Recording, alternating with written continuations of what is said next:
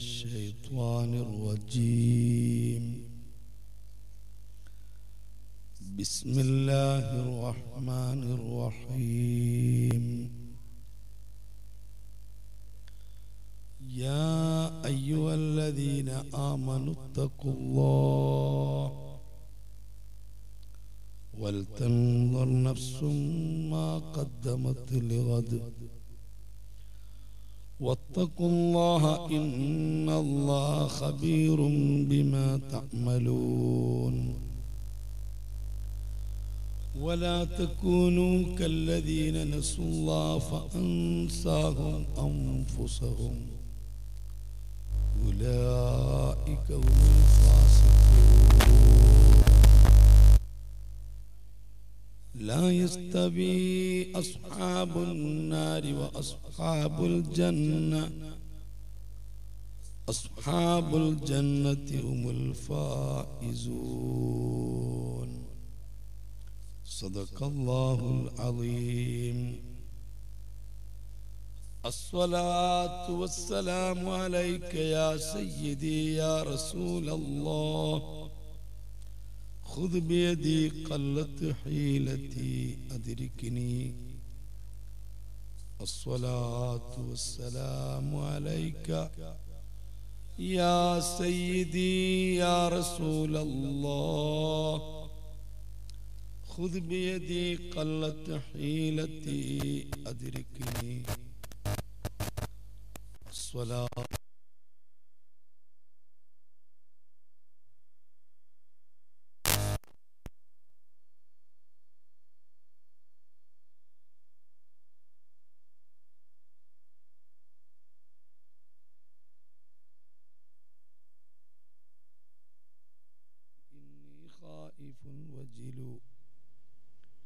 يا نعمة الله إني مفلس وعاني فليس لي عمل ألقى العليم به سوى محبتك العظمى وإيماني. فكن أماني من شر الحياة ومن شر الممات ومن إحراق جسماني. وكن غناي الذي ما بعده فلس وكن فكاكي من أغلال عصياني. مولاي صل وسلم دائما أبدا. على حبيبك خير الخلق كلهم الله سبحانه وتعالى നാം ഒരുമിച്ച് കൂടിയതും പറയുന്നതും കേൾക്കുന്നതും സ്വാലിഹായ അമലായി സ്വീകരിക്കുമാറാകട്ടെ നമ്മിൽ നിന്ന് മരിച്ചുപോയ മാതാപിതാക്കൾ മഷായിഹുമാർ ഉസ്താദുമാർ ബന്ധുമിത്രാദികൾ പ്രസ്ഥാന ബന്ധുക്കൾ എല്ലാവരുടെയും ബർസഹിയായ ജീവിതം അള്ളാഹു സന്തോഷിപ്പിക്കുമാറാകട്ടെ. ഈ മഹത്തായ പരിപാടി സംഘടിപ്പിച്ചിട്ടുള്ള സംഘാടകർ ഇതിന് അധ്വാനിച്ചവർ സഹായിച്ചവർ സഹകരിച്ചവർ ഇതിന്റെ ഗുണകാംക്ഷികൾ ഈ മഹത്തായ മഹല്ല് ജമാഅത്ത് ഭാരവാഹികൾ. ഇവിടുത്തെ ദീനീ പ്രവർത്തനങ്ങൾക്ക് നേതൃത്വം നൽകുന്ന പണ്ഡിതന്മാർ ഉമറാക്കൾ. ഇവിടുത്തെ എല്ലാ ദീനീ സംരംഭങ്ങളിലും സഹായിക്കുന്ന സഹകരിക്കുന്ന സഹോദരന്മാർ സഹോദരിമാർ. എല്ലാവരിൽ നിന്നും അവരെ അള്ളാഹു സ്വീകരിക്കുമാറാകട്ടെ. എല്ലാവരുടെയും എല്ലാ ഹലാലായ ഉദ്ദേശങ്ങളും അള്ളാഹു നിറവേറ്റി റാഹത്ത് നൽകുമാറാകട്ടെ. നാം ഓരോരുത്തരെയും അലട്ടുന്ന പ്രശ്നങ്ങളും പ്രതിസന്ധികളും എല്ലാം അള്ളാഹു താല പരിഹരിച്ച്. അവന്റെ സിഹത്തുള്ള ദീർഘായുസ് നൽകി അനുഗ്രഹിക്കുമാറാകട്ടെ. ആമീൻ. യാ റബ്ബൽ ആലമീൻ എന്ന് ആമുഖമായി പ്രാർത്ഥിക്കുന്നു. ജീവിതത്തിലുടനീളം രഹസ്യമായും പരസ്യമായും അള്ളാഹുവിന് തക്കുവ ചെയ്യണമെന്ന് എന്നോടും നിങ്ങളോടും ഉപദേശിക്കും. കഴിഞ്ഞ വർഷവും ഇതുപോലെ ഈ മഹത്തായ വേദിയിൽ പള്ളിയിടാൻ ബദർ മൗലിദിന്റെ വാർഷികത്തോടനുബന്ധിച്ച് ബദർ കമ്മിറ്റി സംഘടിപ്പിച്ചിട്ടുള്ള ഒരു പ്രഭാഷണ പരിപാടിയിൽ എന്നെ ക്ഷണിക്കുകയും സംബന്ധിക്കുകയും ചെയ്തിട്ടുണ്ട്. ഈ വർഷവും വളരെ നേരത്തെ തന്നെ ഇതിന്റെ പ്രവർത്തകർ വളരെ താല്പര്യത്തോടെ രണ്ട് ദിവസത്തെ പ്രഭാഷണത്തിന് ക്ഷണിക്കുകയും വളരെ വളരെ സന്തോഷത്തോടെ ഞാൻ അത് സ്വീകരിക്കുകയും ചെയ്തു.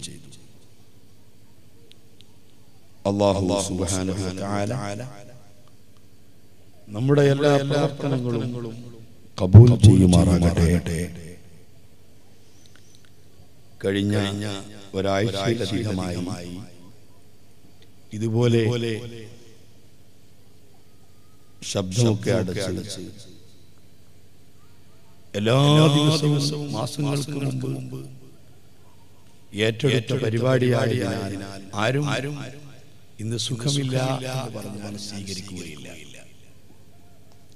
എനിക്ക് ശബ്ദമില്ല പ്രസംഗിക്കാൻ കഴിയില്ല കൊണ്ട് സംസാരിക്കാൻ അത് വീണ്ടും പോകും. ഇന്നലെ ഞാൻ പറഞ്ഞു എനിക്ക് ശബ്ദമില്ല വരാൻ പറ്റില്ല. അപ്പോഴും ഇവിടുത്തെ പ്രവർത്തകർ പറഞ്ഞു നിങ്ങൾ വരണ മതി പ്രസംഗിക്കണ്ട. പിന്നെ ഒരു വിധത്തിലും പറ്റാത്തത് കൊണ്ട് ഞാൻ ഫോൺ അറ്റൻഡ് ചെയ്തില്ല. പിന്നെ അപ്പോൾ തന്നെ ഉറപ്പ് ഇന്ന് ഏതായാലും വരണമെന്നാണ്. ഞാനിതാ വന്നിരിക്കുന്നു. ഇതാണ് പ്രസംഗിക്കുന്ന എന്റെ അവസ്ഥ. പിന്നെ നമ്മുടെ ഞാൻ പറഞ്ഞില്ല മുപ്പത്തി ആറ് വർഷത്തിലപ്പുറമായി ഞാൻ ഇങ്ങനെ പ്രസംഗിക്കാൻ തുടങ്ങി. ഈ കർണാടകത്തിലൊക്കെ പ്രസംഗിക്കാൻ തുടങ്ങിയിട്ട് മുപ്പത്തി ആറ് ഈ ഈ കാലം വരെ ഞാൻ മൈക്കിനെ പറ്റിയും പറയാറില്ല. സദസ്സിനെ പറ്റിയും പറയാറില്ല. കാരണം ഓരോ ഓരോ തരത്തിലുള്ള പ്രവർത്തകർ വളരെ താല്പര്യത്തോടുകൂടി കഠിനാധ്വാനം ചെയ്ത് സംഘടിപ്പിക്കുന്ന പരിപാടിയായിരിക്കും. അള്ളാഹു താല അവരിൽ നിന്നൊക്കെ സ്വീകരിക്കട്ടെ എന്ന് പ്രാർത്ഥിക്കുകയല്ലാതെ നമ്മളെന്ത് പറയാനറിയാനാണ് ഇപ്പോൾ ഞാൻ ഒന്ന് രണ്ട് കാര്യങ്ങൾ ശ്രദ്ധപ്പെടുത്തിയത് ഇപ്പൊ നമ്മുടെ സ്റ്റേജ് കാണാൻ ഓപ്പൺ സ്റ്റേജ് ഈ മഞ്ഞുള്ള സമയത്ത് ഓപ്പൺ സ്റ്റേജ് പ്രസംഗിച്ചാൽ പ്രസംഗങ്ങളാക്കിയുള്ള ശബ്ദം പോവുക. പിന്നെ ചില സ്ഥലത്തൊക്കെ പരിപാടി മണിക്കൂർ കണക്കിന് നമ്മളെ നമ്മളെ ഈ ഈ റെയിൽവേ സ്റ്റേഷനിൽ കൊണ്ടുപോയിടും. ശബ്ദം പോവുക. ആരും ആരും നാളെ പ്രസംഗിക്കണമോ ശ്രദ്ധിക്കുന്നില്ല. നാളെ ശ്രദ്ധിക്കുന്നില്ല. ഓരോ ഓരോ ഇപ്പൊ ഏകദേശം ഒരു മൂന്ന് മാസത്തോളമുള്ള പരിപാടികളൊക്കെ ഏപ്രിൽ മാസം വരെ ഫുള്ള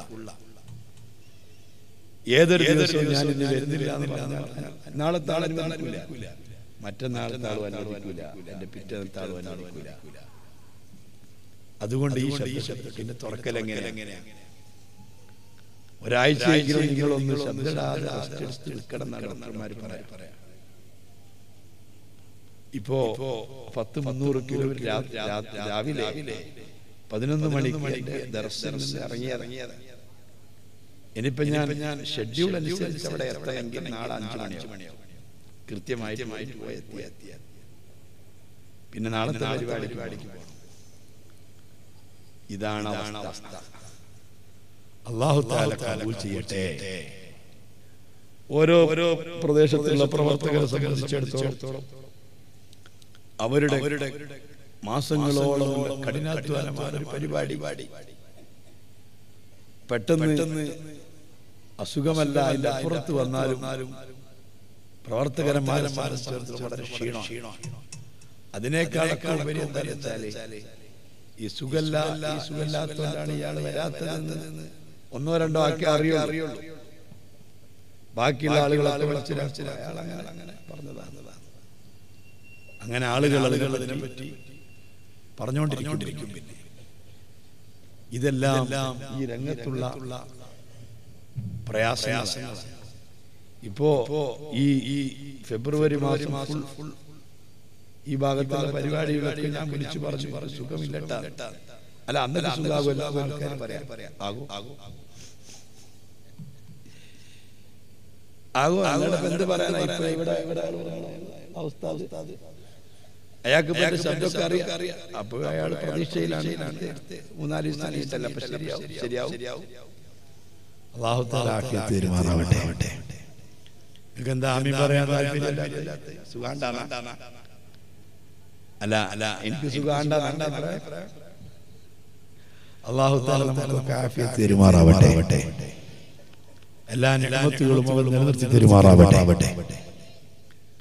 വളരെ പ്രധാനപ്പെട്ട കാര്യങ്ങളോട് പ്രസംഗിക്കണമെന്നൊക്കെ ഞാൻ നേരത്തെ വിചാരിച്ചു. ഇവിടുത്തെ ഒരുപാട് പ്രവർത്തകരുമായി ഞങ്ങൾ ഇടയ്ക്കിടയ്ക്ക് ബന്ധപ്പെട്ടുകൊണ്ടിരിക്കുക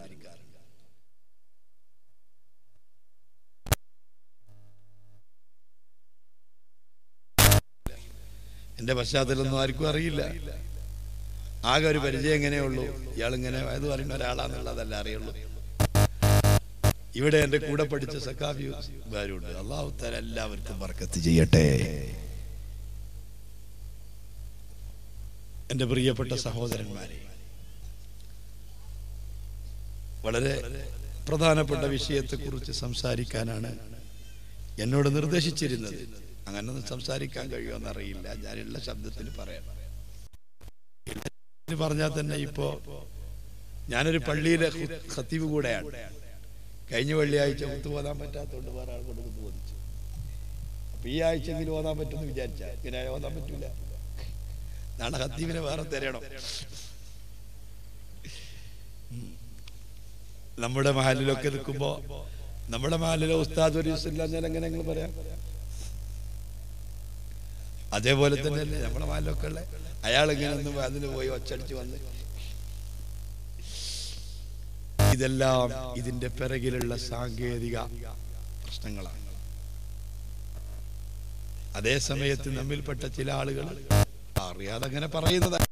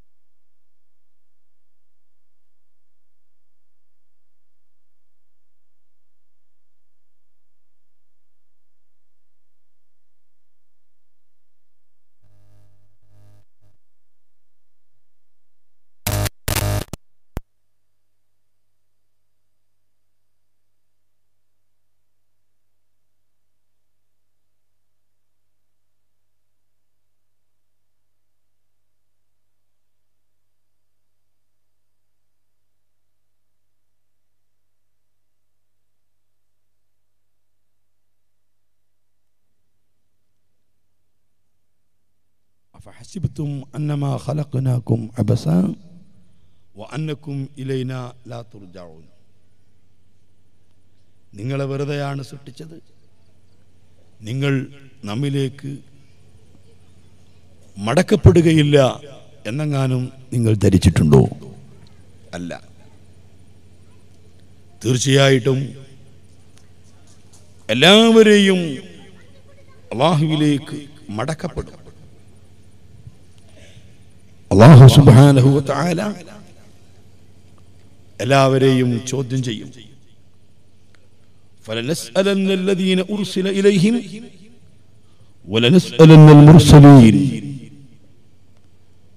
അള്ളാഹുവിന്റെ ഏറ്റവും ഇഷ്ടപ്പെട്ട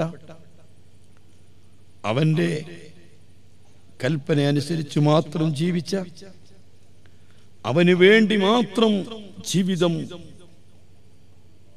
ഒഴിഞ്ഞുവെച്ച? പ്രവാചകന്മാരോട് വരെ അള്ളാഹു താല ചോദിക്കും. അങ്ങനെ ചോദിക്കാതിരിക്കുകയാണെങ്കിൽ പ്രവാചകന്മാരോട് ചോദിക്കാതിരിക്കണ്ടേ?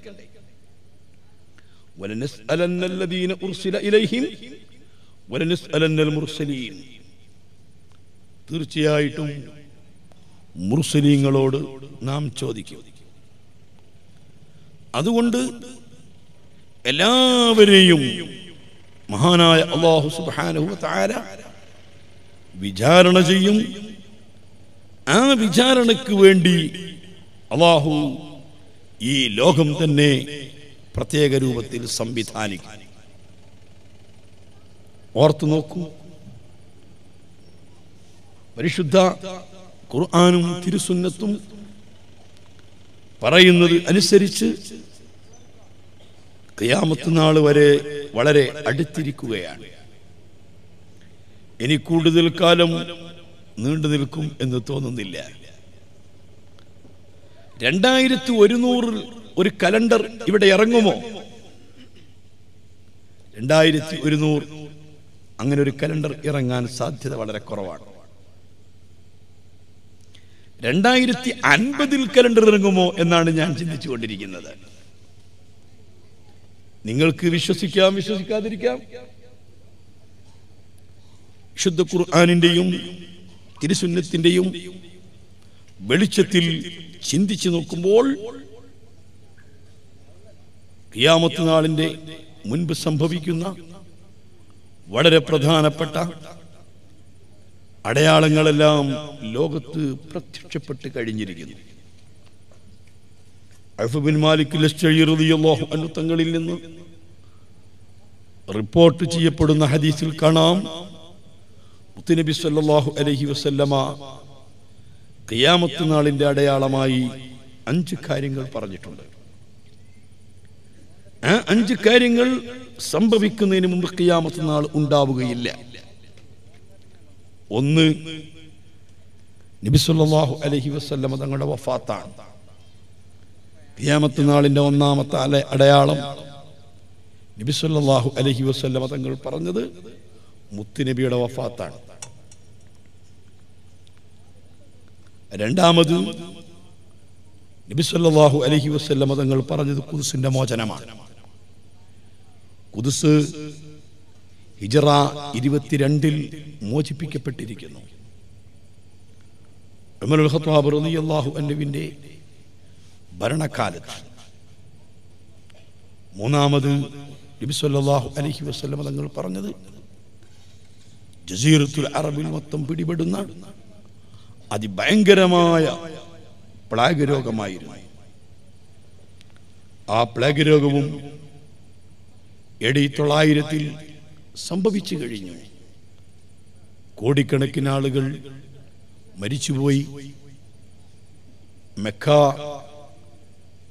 ബഗ്ദാദ് ഇറാൻ തുടങ്ങിയ പലസ്തീൻ മിസ്ർ ആ നാടുകളിൽ മാത്രം മദീനയൊഴിച്ച് ഭയങ്കരമായ വിപത്ത് താഴ്വൻ രോഗം പിടിപെട്ട് രണ്ട് കോടിയിലധികം മനുഷ്യർ മരിച്ചുപോയി. തങ്ങൾ പറഞ്ഞ ഒരടയാളമാണ് ഞാൻ ചുരുക്കി പറഞ്ഞതാണ്. മറ്റൊന്ന് അതിഭയങ്കരമായ സാമ്പത്തികമായ ഒഴുക്കാണ്. സാമ്പത്തിക ഒഴുക്ക്. അതാണ് ഇക്കാലം അത്രയും നാം അനുഭവിച്ചത്. തൊള്ളായിരത്തി എഴുപതിനു ശേഷം ഗൾഫ് പണം നമ്മുടെ നാടുകളിലേക്ക് ഒഴുകി. അതിഭയങ്കരമായ സാമ്പത്തിക അഭിവൃദ്ധിയാണ് ലോകത്തെമ്പാടും ഉണ്ടായിരുന്നത്.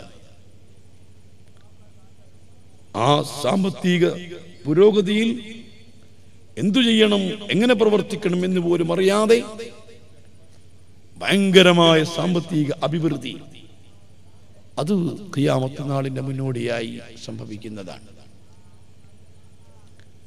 അതും കഴിഞ്ഞ് പിന്നെ നബി സല്ലല്ലാഹു അലൈഹി മാൽ സാമ്പത്തിക മാന്യമാണ് ആ സാമ്പത്തിക മാന്യമാണ് ഇപ്പോൾ ലോകം അനുഭവിച്ചു കൊണ്ടിരിക്കുന്നത് ഈ സാമ്പത്തിക മാന്യം പരിഹരിക്കും എന്ന് മനസ്സിലാക്കണ്ട. ഈ സർക്കാർ പോയി വേറെ സർക്കാർ വന്നു. അല്ലെങ്കിൽ ആ സർക്കാർ പോയി വേറെ സർക്കാർ വന്നു. ഇല്ല. ഈ സാമ്പത്തിക മാന്യം തീരുകയില്ല. ഈ സാമ്പത്തിക മാന്യം തീരണമെങ്കിൽ ഇമാം മഹദി റളിയല്ലാഹു അൻഹു തങ്ങൾ വരണം. ഇമാം മഹദി നാം ഇങ്ങനെ സുഖലോലുപതയോടുകൂടി ജീവിച്ച് അടിച്ചു പൊളിച്ച് ജീവിക്കുന്ന കാലഘട്ടത്തിൽ സലാം പറഞ്ഞുകൊണ്ട് കയറി വരുന്ന ആളല്ല ഇമാം മഹദി റളിയല്ലാഹു അൻഹു. തീഷ്ണമായ പരീക്ഷണങ്ങളിൽ ഭയങ്കരമായ വിപത്തിൽ ലോകം മുഴുകിക്കൊണ്ടിരിക്കുന്ന സന്ദർഭത്തിലാണ് ഇമാം മഹദി വരിക. തീർന്നില്ല. നബി സല്ലല്ലാഹു അലഹി വസ്ലം ഞങ്ങൾ പറയുന്നു ഇമാം മഹദി വരില്ല. മുൽക്കുൽ അറബ്. അറബികളുടെ അധികാരം ഇല്ലാതെയാവുന്നത് വരെ. അറബ് രാഷ്ട്രങ്ങൾ മുഴുവനും തകരും. അപ്പോഴേ ഇമാം മഹദി വരും. അതിഭയങ്കരമായി ഇറാനും അമേരിക്കയുമായി യുദ്ധം നടക്കും. ആ യുദ്ധത്തിൽ മറ്റു അറബ് രാഷ്ട്രങ്ങൾ മുഴുവനും കക്ഷി ചേരും. അറബികൾ മുഴുവനും തകരും. ഉറപ്പ്. ആ കാലഘട്ടത്തിലെ ഇമാം മഹദി തങ്ങൾ വരും. ദജ്ജാൽ വന്ന് വലിയ പരീക്ഷണങ്ങൾ നേരിടും. അതിഭയങ്കരമായ ഫിറ്റിന് അനുഭവിക്കും. അന്ന് ഞങ്ങളൊക്കെ എങ്ങോട്ട് പോകും എന്ന് ചോദിച്ചപ്പോൾ അലൈഹി വസല്ലമ തങ്ങൾ പറഞ്ഞത് നിങ്ങൾ ദിർവത്തുൽ ജബൽ പർവതത്തിന്റെ ഉച്ചിയിലേക്ക് മലമുകളിലേക്ക് നിങ്ങൾ അഭയം പ്രാപിക്കും. അതോ ഇത്രയും ആളുകൾ പർവതത്തിൽ കൊള്ളുവോ? പർവതത്തിന്റെ ഉച്ചിയിൽ മറയാൻ പറ്റുമോ തങ്ങൾ പറഞ്ഞു ഇതൻ യൗമൈദിൻ ഖലീൽ. നിങ്ങൾ വളരെ കുറഞ്ഞവരായി. കാരണം അതിന്റെ മുൻപ് ദജ്ജാൽ വരുന്നതിന് മുമ്പ് ലോകത്ത് നടക്കുന്ന മഹായുദ്ധത്തിൽ അറബികളിൽ നിന്ന്.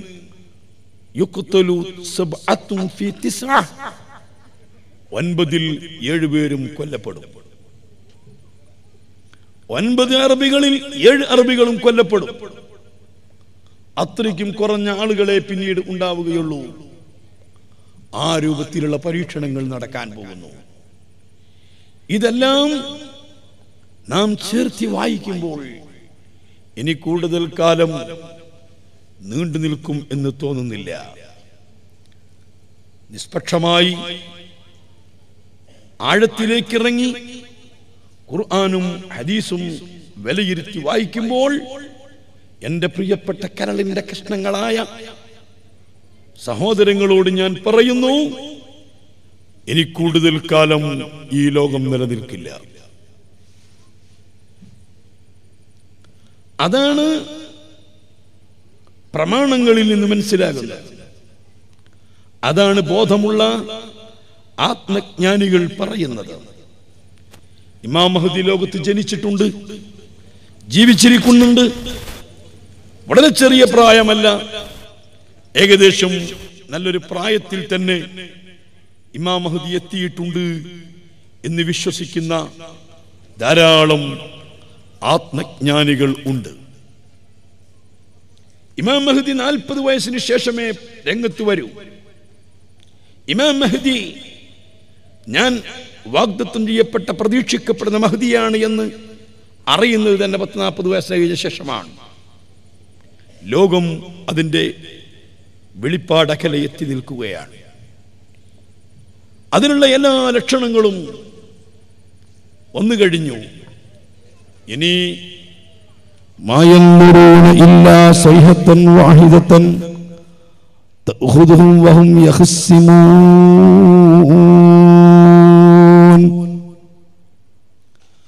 ആളുകൾ തർക്കിച്ചുകൊണ്ടിരിക്കുമ്പോൾ കച്ചവടക്കാർ കച്ചവടം ചെയ്തുകൊണ്ടിരിക്കുമ്പോൾ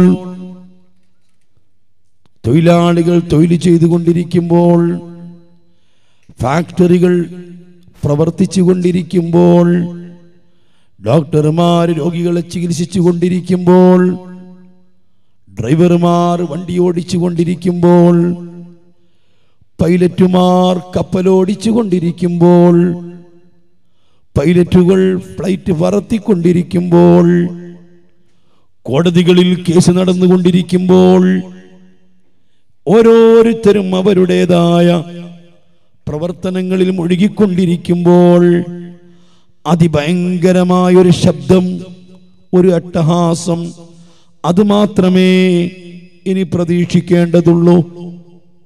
അതേ ഇനി ഞാനും നിങ്ങളും കാത്തിരിക്കേണ്ടതുള്ളൂ. വിശുദ്ധ ഖുർആാനിലെ ഹൃദയമെന്ന് പരിചയപ്പെടുത്തിയ സൂറത്തല്ലേ സൂറത്ത് യാസീൻ? ഹൃദയത്തിന്റെ വിശുദ്ധ ഖുർആാനിന്റെ ഹൃദയമാണ്.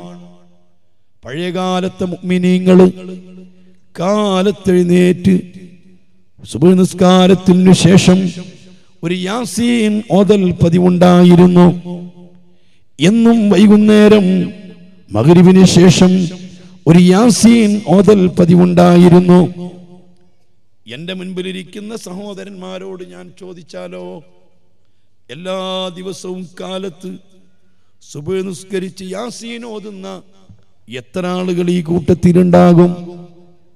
എല്ലാ മകരിബിന് ശേഷവും യാസീൻ ഓതി ശീലമുള്ള എത്ര ആളുകൾ ഈ കൂട്ടത്തിലുണ്ടാകും?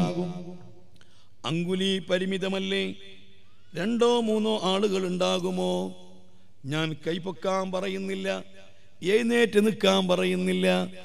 അതേ സമയത്ത് നമ്മുടെ പൂർവീകരായ ആളുകൾ അവരിൽ നടപ്പുള്ള പതിവുള്ള ശീലമായിരുന്നു. ജോലിക്കാര് ജോലിക്ക് പോകുന്നതിന്റെ മുമ്പ് കച്ചവടക്കാര് കച്ചവടത്തിന് പോകുന്നതിന്റെ മുമ്പ് കൃഷിക്കാര് കൃഷി സ്ഥലങ്ങളിലേക്ക് പുറപ്പെടുന്നതിന്റെ മുമ്പ് അവർ കാലത്ത് സുബഹി നിസ്കരിച്ച് ഒരു യാസീൻ ഓതൽ പതിവായിരുന്നു. ആ യാസീൻ സൂറത്ത് ഓതുന്നതിലൂടെ അവരെ ജീവിതം ധന്യമാണ്. അവരെ ഈ പ്രപഞ്ചത്തിലുള്ള എല്ലാ വസ്തുക്കളും തിരിച്ചറിയുകയാണ്.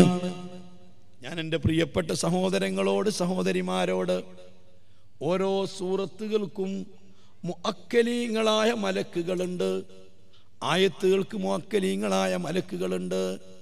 ആ സൂറത്ത് കൊണ്ട് ഏൽപ്പിക്കപ്പെട്ട മലക്കുകൾ ആ ആയത്ത് കൊണ്ട് ഏൽപ്പിക്കപ്പെട്ട മലക്കുകൾ.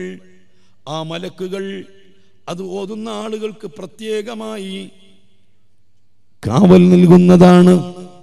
ആ മലായിക്കത്തിന്റെ സാന്നിധ്യം അവരെ ജീവിതത്തിൽ ഉടനീളം ഉണ്ടാകുന്നതാണ്. സൂറത്ത് യാസീനെ പറ്റി അങ്ങനെയാണ് മുത്തുനബി പഠിപ്പിച്ചത്. സൂറത്തു യാസീൻ ലിമാ കുരിഅലഹു എന്തിനു വേണ്ടിയാണ് യാസീൻ ഓതുന്നത്? ആ വിഷയമാണ് യാസീൻ കൊണ്ട് നേടാൻ കഴിയുക. മരിച്ചവർക്ക് വേണ്ടി ഓതുന്നു. അള്ളാ കാര്യങ്ങൾ സാധിക്കാൻ വേണ്ടി യാസീൻ ഓതുന്നു. നിങ്ങൾ ജീവിതത്തിൽ ഒന്ന് പകർത്തി നോക്കൂ. എല്ലാ ദിവസവും കാലത്ത് സുബൈ നിസ്കരിച്ചിട്ട് യാസീൻ സൂറത്ത് ഓതുന്ന ശീലം നിങ്ങളൊന്ന് തുടർന്ന് നോക്കൂ. എന്തെല്ലാം അത്ഭുതങ്ങൾ നമുക്ക് കാണാൻ കഴിയും. എന്തെല്ലാം ഫലങ്ങൾ അതുകൊണ്ട് നമുക്ക് നേടാൻ പറ്റും? ഇരിക്കട്ടെ. നാളെ സ്വർഗത്തിലെത്തിയിട്ട് സ്വർഗത്തിലെ ആളുകൾ സദാസമയവും ഓതുന്ന ചില സൂറത്തുകളുണ്ട്. അതിൽപ്പെട്ടൊരു സൂറത്താണ് സൂറത്ത് യാസീൻ. സൂറത്ത് മറിയം സൂറത്ത് യൂസഫ്. അല്ലാ ഈ ദുനിയാവിൽ നമ്മൾ സംഘടിക്കുമ്പോൾ സന്തോഷിക്കുമ്പോൾ ഫൻഷൻ ഉണ്ടാകുമ്പോൾ സൽക്കാരങ്ങൾ ഉണ്ടാകുമ്പോൾ കല്യാണങ്ങൾ ഉണ്ടാകുമ്പോൾ അതുപോലത്തെ സന്ദർഭങ്ങളിൽ നാം പാട്ടുപാടാറില്ലേ പതിവായിട്ട് പാട്ട് ഇഷ്ടപ്പെടുന്നവരില്ലേ? പാട്ടിന്റെ ആരാധകരില്ലേ? എന്നാൽ സുഖലോക സ്വർഗത്തിൽ പാടുന്ന പാട്ട് അതൊന്ന് യാസീൻ സൂറത്താണ് മറ്റൊന്ന് മറിയം സൂറത്താണ്. മറ്റൊന്ന് സൂറത്ത് യൂസുഫാണ്. ഈ സൂറത്തുകൾ എപ്പോഴും സ്വർഗത്തിനാളുകൾ പാരായണം ചെയ്തുകൊണ്ടിരിക്കും. നമ്മുടെ ഹബീബ് മുത്തു മുഹമ്മദ് മുസ്തഫ സ്വർഗത്തിലെത്തിയിട്ട് ഈ യാസീൻ സൂറത്തൊന്ന് ഓതിത്തരും. അതെന്തൊരു മധുരമാണ്. അതെന്തൊരു ശ്രവണ സുന്ദരമാണ്. അത്രയ്ക്കും സ്വർഗത്തിൽ വെച്ചുകൊണ്ട് ഓതുന്ന സൂറത്താണ് ഈ സൂറത്ത് യാസീൻ. എന്നും മക്കളെ നമുക്കൊരു തിരിച്ചറിവ് വേണം. ഈ എല്ലാ പ്രശ്നങ്ങൾക്കും പരിഹാരമാണ്. യാസീൻ സൂറത്ത് എന്ന് നമുക്ക് ബോധം വേണം. ഞാൻ പറഞ്ഞു വന്നത് പഴയകാലത്തെ ആളുകൾക്കൊക്കെ അത് മനഃപ്പാടമാണ് അതിൽ കാണാമായ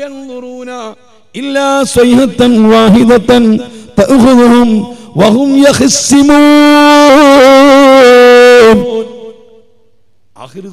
മക്കളെ മായൽ നുറൂന കാത്തിരിക്കേണ്ടതില്ല. ഇനി പ്രതീക്ഷിക്കേണ്ടതില്ല. ഇനി നാം ആരും പ്രതീക്ഷിക്കേണ്ടതില്ല. ഇല്ലാ വഹും നാം കച്ചവടം നടത്തിക്കൊണ്ടിരിക്കുമ്പോ നാം കൊലവിളി നടത്തിക്കൊണ്ടിരിക്കുമ്പോ മുദ്രാവാക്യം വിളിച്ചുകൊണ്ടിരിക്കുമ്പോ എന്തെല്ലാം കാര്യങ്ങളിലായി വ്യാപൃതരായി കൊണ്ടിരിക്കുമ്പോൾ പെട്ടെന്ന് കേൾക്കാം ഒരു ഭയങ്കരമായ ശബ്ദം. ആ ശബ്ദം കേട്ട് കഴിഞ്ഞാൽ ഇനി നിങ്ങൾക്ക് കേൾക്കണോ? പിന്നീട് നീണ്ട ഒരു വർഷം വലിയ സംഭവങ്ങളോ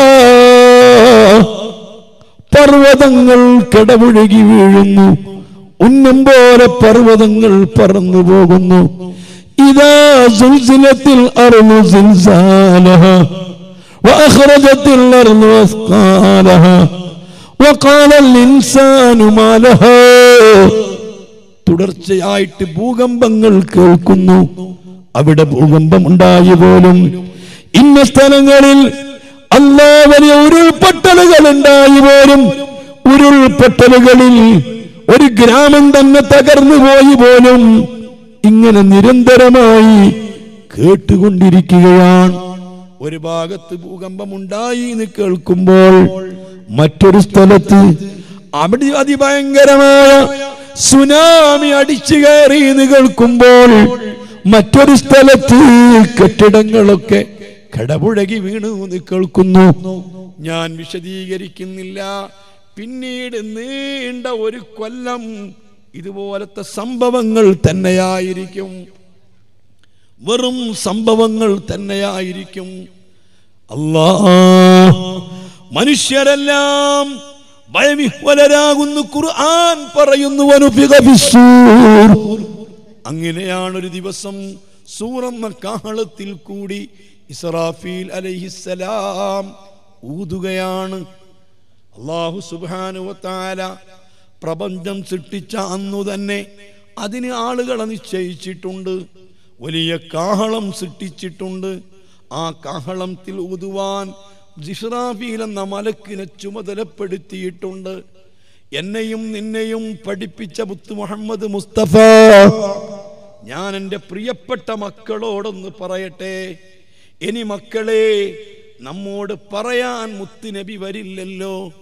നമ്മ ഉപദേശിക്കാൻ മുത്തുനബി വരില്ലല്ലോ. നമ്മ ഉപദേശിക്കാൻ സിദ്ദീഖുൽ അക്ബർ വരില്ലല്ലോ. നമ്മളെ ഉപദേശിക്കാൻ ഉമറുൽ ഫാറൂഖ് തങ്ങൾ വരില്ലല്ലോ. നമുക്ക് മാതൃകയാവാൻ ബദിരീങ്ങൾ ഇനി വരില്ലല്ലോ. നമുക്ക് പറയ ഓരോ സമയത്തും പറയേണ്ടതും ചെയ്യേണ്ടതും നമുക്ക് പറഞ്ഞു തരാൻ നമ്മ ബോധ്യപ്പെടുത്താൻ വരുന്നതാരാണ്? പണ്ഡിതന്മാരല്ലേ. അൽ വറസത്തുൽ അമ്പിയാക്കൾ പറയുന്നതല്ലേ പണ്ഡിതന്മാര് പറയുന്നത്? ഈ പണ്ഡിതന്മാര് പറയുന്നത് നമ്മൾ കേൾക്കേണ്ടതില്ലേ? ഈ പണ്ഡിതന്മാര് പറയുന്നത് ഞാനും നിങ്ങളും ശ്രദ്ധിക്കേണ്ടതില്ലേ? നമുക്ക് ബോധം തരാൻ ഇനി അമ്പിയാക്കളങ്ങാനും വരുമോ സഹബാക്കളങ്ങാനും വരുമോ ഹസനുൽ ബസരിയെ പോലത്തെ ആളുകൾ വരുമോ അല്ല അവരാരും ഇനി വരില്ല. ഇനി നമുക്ക് ബോധം തരാൻ വരുന്നത് അമ്പിയാക്കളെ അനന്തരാവകാശികളായ പണ്ഡിതന്മാരാ. അള്ളാഹുവിന്റെ റസൂലെ നമ്മോട് പറയേണ്ടതൊക്കെയും പറഞ്ഞുകൊണ്ട് പോയില്ലേ? അവിടുന്ന് ഖുർആാനും സുന്നത്തും ബാക്കി വെച്ചുകൊണ്ട് പിരിഞ്ഞു പോയില്ലേ? അത് പറഞ്ഞു തരാൻ പണ്ഡിതന്മാരല്ലേ ഇനി ഉള്ളത്? ഈ പണ്ഡിതന്മാരെ നമ്മൾ കുതിര കയറാൻ പറ്റുമോ അവരെ നമ്മൾ കുറ്റപ്പെടുത്താൻ പറ്റുമോ അവർ പറഞ്ഞത് അനുസരിക്കാതിരിക്കാൻ പറ്റുമോ അവർ പറഞ്ഞത് കേൾക്കാതിരിക്കാൻ പറ്റുമോ അനുസരിക്കാത്ത ഒരു കൗമാണ് ലോകത്തുള്ളതെങ്കിൽ ആ കൗമിന്റെ അവസ്ഥ നിങ്ങളൊന്ന് ചിന്തിച്ച് നോക്കൂ. ഞാൻ സങ്കടത്തോടെ വളരെ വേദനയോടുകൂടി പറയുകയാ. നിങ്ങൾ കണ്ടിട്ടുണ്ടോ? ഹൈന്ദവ സഹോദരന്മാർക്കും മേലധ്യക്ഷന്മാരുണ്ട്. അവർക്കും മതത്തിലെ നേതാക്കന്മാരുണ്ട്. ക്രിസ്ത്യാനികൾക്കും മതത്തിലെ നേതാ നേതാക്കന്മാരുണ്ട്. എനിക്ക് എനിക്ക് ക്രിസ്ത്യാനികളെ കുറിച്ച് നന്നായിട്ടറിയും. ഹിന്ദുക്കളെ പറ്റി നന്നായിട്ടറിയും. മുസ്ലിമീങ്ങളെ പറ്റി നന്നായിട്ടറിയും. ഞാൻ ചോദിക്കട്ടെ മുസ്ലിമീങ്ങളെ ക്രിസ്ത്യാനികളെ കൂട്ടത്തിൽ അവർക്ക് പള്ളികളുണ്ട് അവരെ പള്ളിയിൽ കപ്പിയാരുണ്ട് അവരെ പള്ളിയിൽ വികാരിമാരുണ്ട് ഫാദർമാരുണ്ട് മതത്തിന്റെ അപദം പറയുന്ന ആളുകളുണ്ട്. നിങ്ങൾ എവിടെയെങ്കിലും കേട്ടിട്ടുണ്ടോ ഒരു ക്രിസ്ത്യാനി അങ്ങാടിയിൽ വെച്ച് അല്ലെങ്കിൽ പൊതുവേദികളിൽ വെച്ച് അല്ലെങ്കിൽ പീഡികത്തിണ്ണയിൽ വെച്ച് അല്ലെങ്കിൽ കല്യാണത്തിന്റെ സദസ്സിൽ വെച്ച് ഒരു ഫാദരിയെ പറ്റി പറയുന്നത് ഒരു പള്ളി വികാരിയെ പറ്റി പറയുന്നത് ഒരു കപ്പിയാരെ പറ്റി പറയുന്നത് കുറ്റം പറയുന്നത് കേട്ടിട്ടുണ്ടോ ഇല്ല? അതേ സമയത്ത് നമ്മുടെ ചെറുപ്പക്കാരായ ആളുകൾ സുബാനല്ലാ പറയേണ്ടത് പറയുമ്പോ അള്ളാന്റെ റസൂൽ പറഞ്ഞത് പറയുമ്പോ ദീനിന്റെ കാര്യങ്ങൾ പറയുമ്പോ ദീനനുസരിച്ച് ജീവിക്കണമെന്ന് പറയുമ്പോ ആ പറയുന്ന പണ്ഡിതന്മാരെ കുതിര കയറുകയാ അവരെ പരിഹസിക്കുകയാ അവരെ പലതും പലതും പറഞ്ഞുകൊണ്ട് നിസ്സാരപ്പെടുത്തുകയാ. മക്കളെ ഇതിന്റെയൊക്കെ കാലം കഴിഞ്ഞു പോയിട്ടുണ്ട് ഇതിന്റെയൊക്കെ സമയം കഴിഞ്ഞു പോയിട്ടുണ്ട്. നമ്മുടെ മക്കൾ പാതിരാ സമയം വരെ ഇപ്പോഴും കളിക്കുകയാ. ഇവിടത്തെ പറ്റി എനിക്കറിയില്ല. ഏറ്റവും അറുപത്തഞ്ച് ശതമാനം മുസ്ലിമീങ്ങൾ തിങ്ങി താമസിക്കുന്ന മലപ്പുറം ജില്ലയിലാണ് ഞാനുള്ളത്. ഈ മലപ്പുറം ജില്ലയിലും കോഴിക്കോടിന്റെ ഭാഗങ്ങളിലും അതുപോലത്തെ മല വടക്ക് മലബാർ സ്ഥലങ്ങളിലും പ്രത്യേകിച്ച് നിങ്ങൾക്ക് തൊട്ടടുത്ത ജില്ലയാ ഈ കാണുന്ന കാസർഗോഡ് ജില്ലയൊക്കെ. അല്ലാ എന്തൊക്കെയാ നമ്മുടെ മക്കൾ കാട്ടിക്കൂട്ടുന്നത്? എന്തൊക്കെ തോന്നിവാസങ്ങളാ നടത്തുന്നത്? എന്തൊക്കെ അനഹറാമായ കാര്യങ്ങളാ? ആരും അവരോട് പറയാൻ പാടില്ല. ആര് പറഞ്ഞാലും സ്വീകരിക്കുന്നില്ല.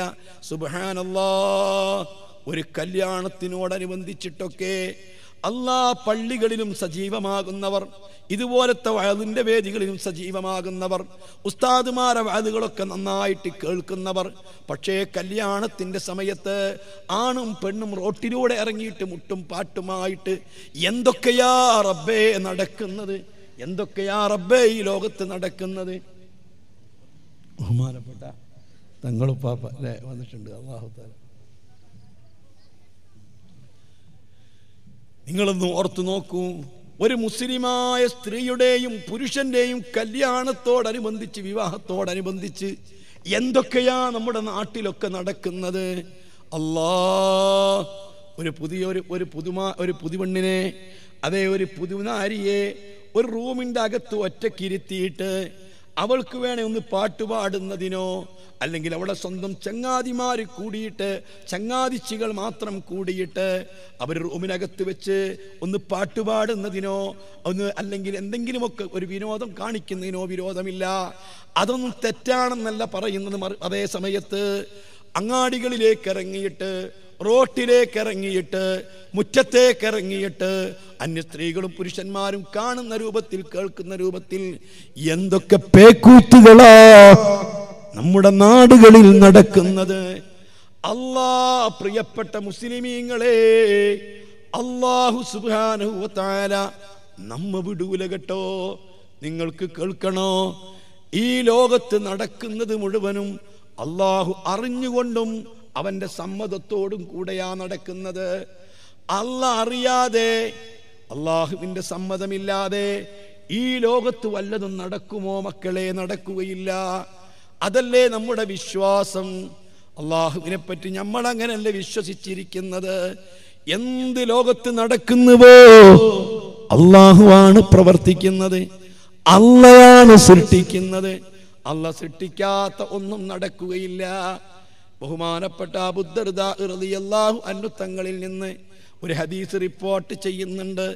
അള്ളാഹു താര പറയുകയാ നബി സല്ലല്ലാഹു അലൈഹി വസല്ലമ തങ്ങൾ പറഞ്ഞു യക്കൂലുല്ലാഹു തബാറക വ തആല അള്ളാഹു താര പറയുന്നുണ്ട് എന്റെ ശബ്ദം കേൾക്കുന്ന ചെറുപ്പക്കാരി ഇരുന്നു കൊണ്ട് ചിന്തിക്കണം.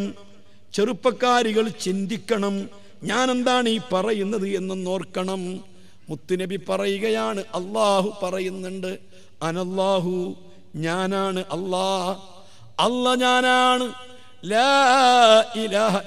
അന. ഞാനല്ലാതെ ആരാധിക്കപ്പെടാൻ അർഹതയില്ല അർഹത അർഹതയുള്ളവനില്ല. കാരണം ഞാനാണ് ഈ പ്രപഞ്ചത്തെ സൃഷ്ടിച്ചത്. ഭൂമിയെ സൃഷ്ടിച്ചതു ഞാനാണ്. ആകാശം സൃഷ്ടിച്ചതു ഞാനാണ്. നിങ്ങളെ മൊത്തം സൃഷ്ടിച്ചത് ഞാനാണ്. നിങ്ങൾക്ക് വേണ്ടി സൂര്യനെ നടത്തുന്നത് ഞാനാണ്. ആകാശത്തുനിന്ന് വെള്ളം ഇറക്കി തരുന്നത് ഞാനാണ്. അല്ലാ ഈ ലോകത്തുള്ള എല്ലാ സാധനങ്ങളും സൃഷ്ടിക്കുന്നത് അള്ളാഹുവാണ് അത് ഞാൻ ഖുർആൻ മാത്രം പറഞ്ഞതല്ല. ലോകത്ത് സയൻസ് എന്താ പറയുന്നത്? ശാസ്ത്രം എന്താണ് പറയുന്നത്? ഈ ലോകത്തുള്ള മനുഷ്യർ മുഴുവനും ഈ ലോകത്തുള്ള ജീവികൾ മുഴുവനും ഈ ലോകത്തുള്ള സർവശക്തികൾ മുഴുവനും ഒരുമിച്ച് കൂടിയാൽ ഇല്ലാത്ത ഒരു ദ്രവ്യം പടക്കാൻ കഴിയില്ല. ഒരു തന്മാത്ര സൃഷ്ടിക്കാൻ കഴിയില്ല. ഒരു കണിക പടക്കാൻ കഴിയില്ല. പടക്കുന്നതെല്ലാം അള്ളാഹുവാണ് പടച്ചതെല്ലാം അള്ളാഹുവാണ് അള്ളാഹുവാണ് സൂര്യനെ നടത്തി തരുന്നത്. അള്ളയാണ് ആകാശത്തുനിന്ന് വെള്ളം തരുന്നത്. അള്ളയാണ് സസ്യലതാദികൾ മുളപ്പിക്കുന്നത്. നിങ്ങൾ ഓർത്തു നോക്കൂ ഞാനും നിങ്ങളും എന്തെല്ലാം കഴിച്ചിട്ടാണ് വന്നത്? സുബാനല്ലാ ഈ രാത്രി ഉസ്താദിന് ഭക്ഷണം കൊടുക്കാൻ താല്പര്യമുള്ള എത്ര ആളുകളാണ്?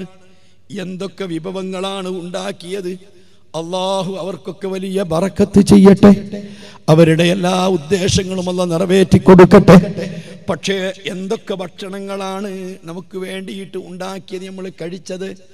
ആ ഭക്ഷ തീന്മേശയിൽ കൊണ്ടുവച്ചിരിക്കുന്ന ഭക്ഷണത്തെ പറ്റി നിങ്ങൾ ചിന്തിച്ച് നോക്ക്. എല്ലാം ഈ ഭൂമിയിൽ നിന്ന് ആരാണ് ഉണ്ടാക്കി തന്നത്? ആരാണ് സസ്യങ്ങളെ മുളപ്പിക്കുന്നത്?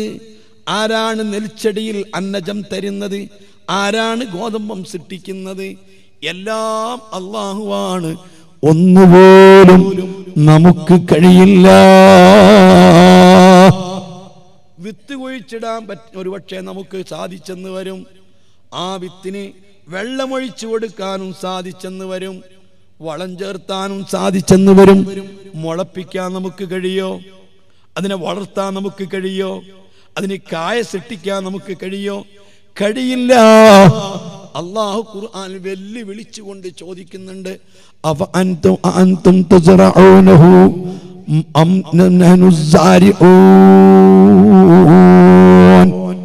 ഈ കൃഷികളൊക്കെ ആരാണ് ഉണ്ടാക്കുന്നത്? നിങ്ങളോ ഞമ്മളോ? എല്ലാം അള്ളാഹുവാണ് സൃഷ്ടിച്ചത്. അല്ല സൃഷ്ടിക്കാത്ത ഒന്നുമില്ല. എല്ലാം അല്ല സൃഷ്ടിക്കുന്നു. അതുമാത്രമല്ല എല്ലാ പ്രവർത്തികളെയും അള്ളാഹുവാണ് സൃഷ്ടിക്കുന്നത്. നല്ലോണം മനസ്സിലാക്കണം വിശ്വാസമാണ് തെറ്റിപ്പോകരുത്. എന്നെ അല്ല പടച്ചു എന്റെ മാതാപിതാക്കളെ അല്ല പടച്ചു ഞാൻ താമസിക്കുന്ന ഭൂമി അല്ല പടച്ചു എന്റെ മേലെയുള്ള ആകാശം അല്ല പടച്ചു ഞാൻ കഴിക്കുന്ന ആഹാരങ്ങൾ അല്ല പടച്ചു ഞാൻ ധരിച്ചിരിക്കുന്ന വസ്ത്രം അല്ല പടച്ചു എല്ലാം അല്ല പടച്ചു അതിനുപരി എന്റെ പ്രവൃത്തിയെയും അള്ളയാണ് പടക്കുന്നത്. മക്കൾ മനസ്സിലാക്കണം ഇതാണ് സുന്നത്ത് ജമാഅത്തിന്റെ വിശ്വാസം. ഇതാണ് മുത്തുനബി പഠിപ്പിച്ച വിശ്വാസം. ഇതാണ് സ്വഹാബത്ത് പഠിപ്പിച്ച വിശ്വാസം. ഇതാണ് ബദരീങ്ങൾ പഠിപ്പിച്ച വിശ്വാസം. ഇതാണ് അയിമത്ത് പഠിപ്പിച്ച വിശ്വാസം. ഇതാ നമ്മുടെ ഉസ്താദുമാർ പഠിപ്പിച്ച വിശ്വാസം. നമ്മുടെ പ്രവർത്തികളെ അല്ല പടക്കുകയാണ്. ഞാനാണ് നിങ്ങളോട് പ്രസംഗിക്കുന്നത്. ഞാനാണ് നിങ്ങളോട് സംസാരിക്കുന്നത്. പക്ഷെ എന്റെ സംസാരത്തെ അള്ളാഹുവാണ് സൃഷ്ടിക്കുന്നത്. എന്റെ പ്രസംഗത്തെ അള്ളയാണ് സൃഷ്ടിക്കുന്നത്. ഞാനല്ല എന്റെ സംസാരത്തെ സൃഷ്ടിക്കുന്നത്. ഞാനല്ല എന്റെ കൈകളുടെ ആംഗ്യം സൃഷ്ടിക്കുന്നത്. അതല്ലേ മക്കളെ ശരി? നിങ്ങളൊക്കെ ഇവിടെ ഇരിക്കുന്നു. ഇനി നിങ്ങൾ നടന്നു പോകുന്നു. നിങ്ങളെ നടത്തം അള്ളാഹു സൃഷ്ടിക്കുന്നു. നിങ്ങളെ ഉറക്കം അള്ളാഹു സൃഷ്ടിക്കുന്നു. നിങ്ങളെ കിടത്തം അല്ല സൃഷ്ടിക്കുന്നു. എല്ലാം സൃഷ്ടിക്കുന്നത് അള്ളാഹുവാണ്. തീർന്നില്ല മക്കളെ ഞാൻ ഒന്നുകൂടി പറയട്ടെ. ഒരാൾ മറ്റൊരാളെ നന്നായിട്ട് കത്തി കൊണ്ട് വെട്ടിയതാണ്. കത്തി കൊണ്ട് വെട്ടിയപ്പോൾ അവന്റെ കഴുത്ത് മുറിഞ്ഞു. ആ മുറിയൽ അള്ളാഹു സൃഷ്ടിച്ചതാണ്. ഇവൻ വെട്ടിയത് കൊണ്ട് മുറിഞ്ഞതാണോ? വെട്ടിയത് കൊണ്ട് മുറിഞ്ഞതല്ല. വെട്ടിയപ്പോൾ അള്ള സൃഷ്ടിച്ചതാണ്. വെട്ടിയത് കൊണ്ട് മുറിയണമെന്നില്ല. ആ വെട്ടുന്ന സമയത്ത് അള്ളാഹു സൃഷ്ടിച്ചെങ്കിൽ മാത്രമേ മുറിയുകയുള്ളൂ. ഇതാണ് മോനെ നമ്മുടെ വിശ്വാസം. അങ്ങനെ നീ വിശ്വസിച്ചിട്ടില്ലേ? നിസ്കരിക്കേണ്ടതില്ല നോമ്പെടുക്കേണ്ടതില്ല ധർമ്മം കൊടുക്കേണ്ടതില്ല. നിങ്ങൾ ഓർത്തു നോക്ക് എന്റെ സംസാരം ഞാനാണ് സൃഷ്ടിക്കുന്നതെങ്കിൽ ഈ സംസാരിക്കാൻ എവിടെ കംപ്ലൈന്റ് വന്നത് എന്നെനിക്കറിയണ്ടേ? ഏതൊക്കെ ഞരമ്പുകളാണ് പ്രവർത്തിക്കേണ്ടത്? എത്ര ഊർജമാണ് ചെലവ് ചെയ്യേണ്ടത് എവിടെ ഇപ്പൊ കംപ്ലൈന്റ് വന്ന് എനിക്കറിയില്ല എന്റെ ശബ്ദം ഈ രൂപത്തിലായത് എന്തുകൊണ്ടാണ് എനിക്കറിയില്ല? കാരണം എന്താണ്? ഞാനല്ല സൃഷ്ടിക്കുന്നത്. ഞാനാണ് സൃഷ്ടിക്കുന്നതെങ്കിൽ എനിക്കറിയണ്ടേ? നിങ്ങൾ ഇവിടുന്ന് പള്ളി വരെ നടക്കുകയാണെങ്കിൽ ആ നടത്തം അള്ളാഹുവിന്റെ സൃഷ്ടിയ. നിങ്ങളാണ് നടത്തം സൃഷ്ടിക്കുന്നതെങ്കിൽ നടക്കാൻ ഏതൊക്കെ ഞരമ്പുകൾ പ്രവർത്തിക്കണം? ഏതെല്ലാം എല്ലുകൾ പ്രവർത്തിക്കണം? എത്ര കണ്ട് ഊർജം കൊടുക്കണം? നിങ്ങൾക്കറിയുമോ? എനിക്കറിയുമോ? അറിയാത്ത നമ്മൾ പടക്കുമോ? അതുകൊണ്ട് ഒന്നാമതൊരു പാഠം നിങ്ങൾ പഠിച്ചോളൂ. മുസ്ലിം ഉമ്മത്ത് പഠിക്കേണ്ട ഒന്നാമത്തെ പാഠം ചെറുപ്പക്കാര് പഠിക്കേണ്ട ഒന്നാമത്തെ പാഠം ചെറുപ്പക്കാരികൾ പഠിക്കേണ്ട പാഠം. അള്ളാഹു നമ്മളെയും സൃഷ്ടിച്ചു. വല്ലാഹു ഖലഖക്കും വമാ തഅമലൂൻ. നിങ്ങളെ പ്രവർത്തികളെയും അള്ളാഹുവാണ് പടച്ചത്. നിങ്ങളെ പടച്ച പോലെ തന്നെ നിങ്ങളെ പ്രവർത്തികളെയും അള്ളാഹുവാണ് പടക്കുന്നത്. ഒരാൾ തീ കൊണ്ട് ഇങ്ങനെ കരിച്ചു. തീ കൊണ്ട് തൊട്ടാൽ കരിയൂല. കരിയണമെങ്കിൽ അല്ല സിട്ടിക്കണം തീ തട്ടിയാ മൊത്തം കരിയോ? ഇബ്രാഹിം നബി എന്തുകൊണ്ട് കരിഞ്ഞില്ല? അബൂ മുസ്ലിമിൽ ഖവലാനി തങ്ങൾ എന്തുകൊണ്ട് കരിഞ്ഞില്ല? അങ്ങനെ പലരും പലരും എന്തുകൊണ്ട് കരിഞ്ഞില്ല? കരിയൽ അള്ളാഹു സൃഷ്ടിക്കുന്നതാ. ശക്തമായിട്ട് ദാഹമുണ്ട്. ദാഹിക്കുന്ന സമയത്ത് വെള്ളം കുടിക്കുന്നുണ്ട്. വെള്ളം കുടിക്കുമ്പോൾ ദാഹം തീരുന്നുണ്ട്. വെള്ളം കുടിച്ചത് കൊണ്ട് തീർന്നതല്ല. വെള്ളം കുടിക്കുമ്പോ അള്ളാഹു അത് സൃഷ്ടിച്ചതാണ്. ഇതാണ് നമ്മുടെ വിശ്വാസം. നിങ്ങൾക്ക് മനസ്സിലായോ? എല്ലാം അള്ളാഹു പടക്കണം. അല്ല പടക്കില്ലെങ്കിലോ ഒന്നും സംഭവിക്കൂല. അല്ല പറയുകയാണ് രാജ അധികാരം എന്റെ ഉടമസ്ഥയിലാണ് അധികാരങ്ങളുടെ അധികാരം എന്റെ കയ്യിലാണ്. ഞാനാണ്. അധികാരികൾക്ക് അധികാരം കൊടുക്കുന്നത് ഞാനാണ്. എല്ലാ ഭരണാധികാരികളുടെയും ഹൃദയം എന്റെ നിയന്ത്രണത്തിലാണ്. ലോകം ഭരിക്കുന്ന ഭരണാധികാരികളുടെ അമിത്ഷയുടെ മോദിജിയുടെ എന്നിവ കണ്ട എല്ലാ അമേരിക്കൻ പ്രസിഡന്റ് ട്രംപിന്റെ ഏരിയൽ അതേ ഈ അതേ കുരിശിന്റെ ഇസ്രയേലിന്റെ പ്രധാനമന്ത്രി നെതന്യാഹുവിന്റെ എല്ലാ ഭരണാധികാരികളുടെയും ഹൃദയം എന്റെ നിയന്ത്രണത്തിലാണ്. അല്ലേ മോനെ? അല്ലയല്ലേ എല്ലാരെയും നിയന്ത്രിക്കുന്നത്? എല്ലാ ഭരണാധികാരികളുടെയും ഹൃദയം അവരെ മനസ്സ് എന്റെ നിയന്ത്രണത്തിലാ. ഞാനറിയാതെ ആരും ഒന്നും ചെയ്യില്ല. ഞാനറിയാതെ ഒന്നും പ്രവർത്തിക്കില്ല. വമാതശാഊന ഇല്ലാ അല്ല. ഉദ്ദേശിക്കാതെ ഒരാളും ഒന്നും ഉദ്ദേശിക്കുകയില്ല. എന്ത് നടപ്പാക്കണമെന്ന് ഏത് സർക്കാർ തീരുമാനിച്ചാലും അല്ല ഉദ്ദേശിക്കാതെ ഒരാളും അങ്ങനെ ഉദ്ദേശിക്കൂല. ഈ പ്രപഞ്ചത്തിൽ സംഭവിക്കുന്നത് മുഴുവനും അള്ളാഹു അറിഞ്ഞുകൊണ്ടും അവൻ ഉദ്ദേശിച്ചതും മാത്രമാണ്. അല്ലാതെ ഒന്നും ഈ ഭൂമിയിൽ സംഭവിക്കൂല. അല്ല പറയുകയാണ് ഇന്നൽ ഇബാദ ഇതാ താഴൂനി എന്റെ അടിമകൾ എന്റെ അടിമകൾ എന്നെ അനുസരിക്കുമ്പോൾ സുബാനല്ലാ എന്റെ അടിമകൾ നല്ലപോണം മനസ്സിലാക്കണം വളരെ കുറഞ്ഞ സമയമല്ലേ പറയുന്നുള്ളൂ. മക്കളെ അള്ളാഹു എല്ലാം അള്ളാഹുവിന്റെ അടിമകളാണെങ്കിലും എല്ലാവരും അള്ളാഹുവിന്റെ സൃഷ്ടിയാണെങ്കിലും അള്ളാഹുവിലേക്ക് ചേർത്തി പറയുന്നത് എന്റെ അടിമകൾ എന്ന് റബ്ബ് പറയുന്നത് ആരെ പറ്റിയാണ്? അത് മുഗ്മിനീങ്ങളെ പറ്റിയാണ്. ഇടയ്ക്ക് സ്ത്രീകളെ ഭാഗത്തേക്ക് കവർ കൊടുത്തയക്കുന്നുണ്ട്. സ്ത്രീകളൊക്കെ കവർ വാങ്ങിക്കണം. നല്ല സതക്ക കൊടുക്കണം. നമ്മുടെ പ്രവർത്തകന്മാർ ഈ പരിപാടി സംഘടിപ്പിച്ചവർ നിങ്ങളെപ്പോലുള്ളവരുടെ ഉദാരമായ സംഭാവന സതക്ക മാത്രമാണ് പ്രതീക്ഷിക്കുന്നത്. നിങ്ങൾ നന്നായി നൽകണം. അത് മാത്രമാണ് നാളെ നമുക്ക് കൊണ്ടുപോകാനുള്ളത്. അള്ളാഹു തൗഫീക്ക് തരട്ടെ.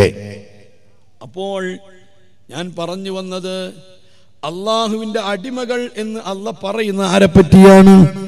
മുഗ്മിനീങ്ങളായ അടിമകളെ പറ്റിയാണ്. ഒരു വാപ്പ ഇവൻ എന്റെ മോനാന്ന് പറഞ്ഞാൽ ബാക്കിയുള്ളവരൊന്നും മക്കളല്ല എന്നല്ല. ഈ മകൻ പ്രത്യേകം ഇഷ്ടപ്പെട്ടവനായതുകൊണ്ട് തന്റെ ഉപ്പാന്റെ ഇഷ്ടത്തിനൊത്ത് ജീവിക്കുന്നത് കൊണ്ട് ഇവനാണ് എന്റെ മോൻ എന്ന് പറയാറുണ്ട്. എന്നതുപോലെ അള്ളാഹു അവന്റെ അടിമകൾ എന്ന് പറയുന്നത് മുസ്ലിമീങ്ങളെ സംബന്ധിച്ചാണ്.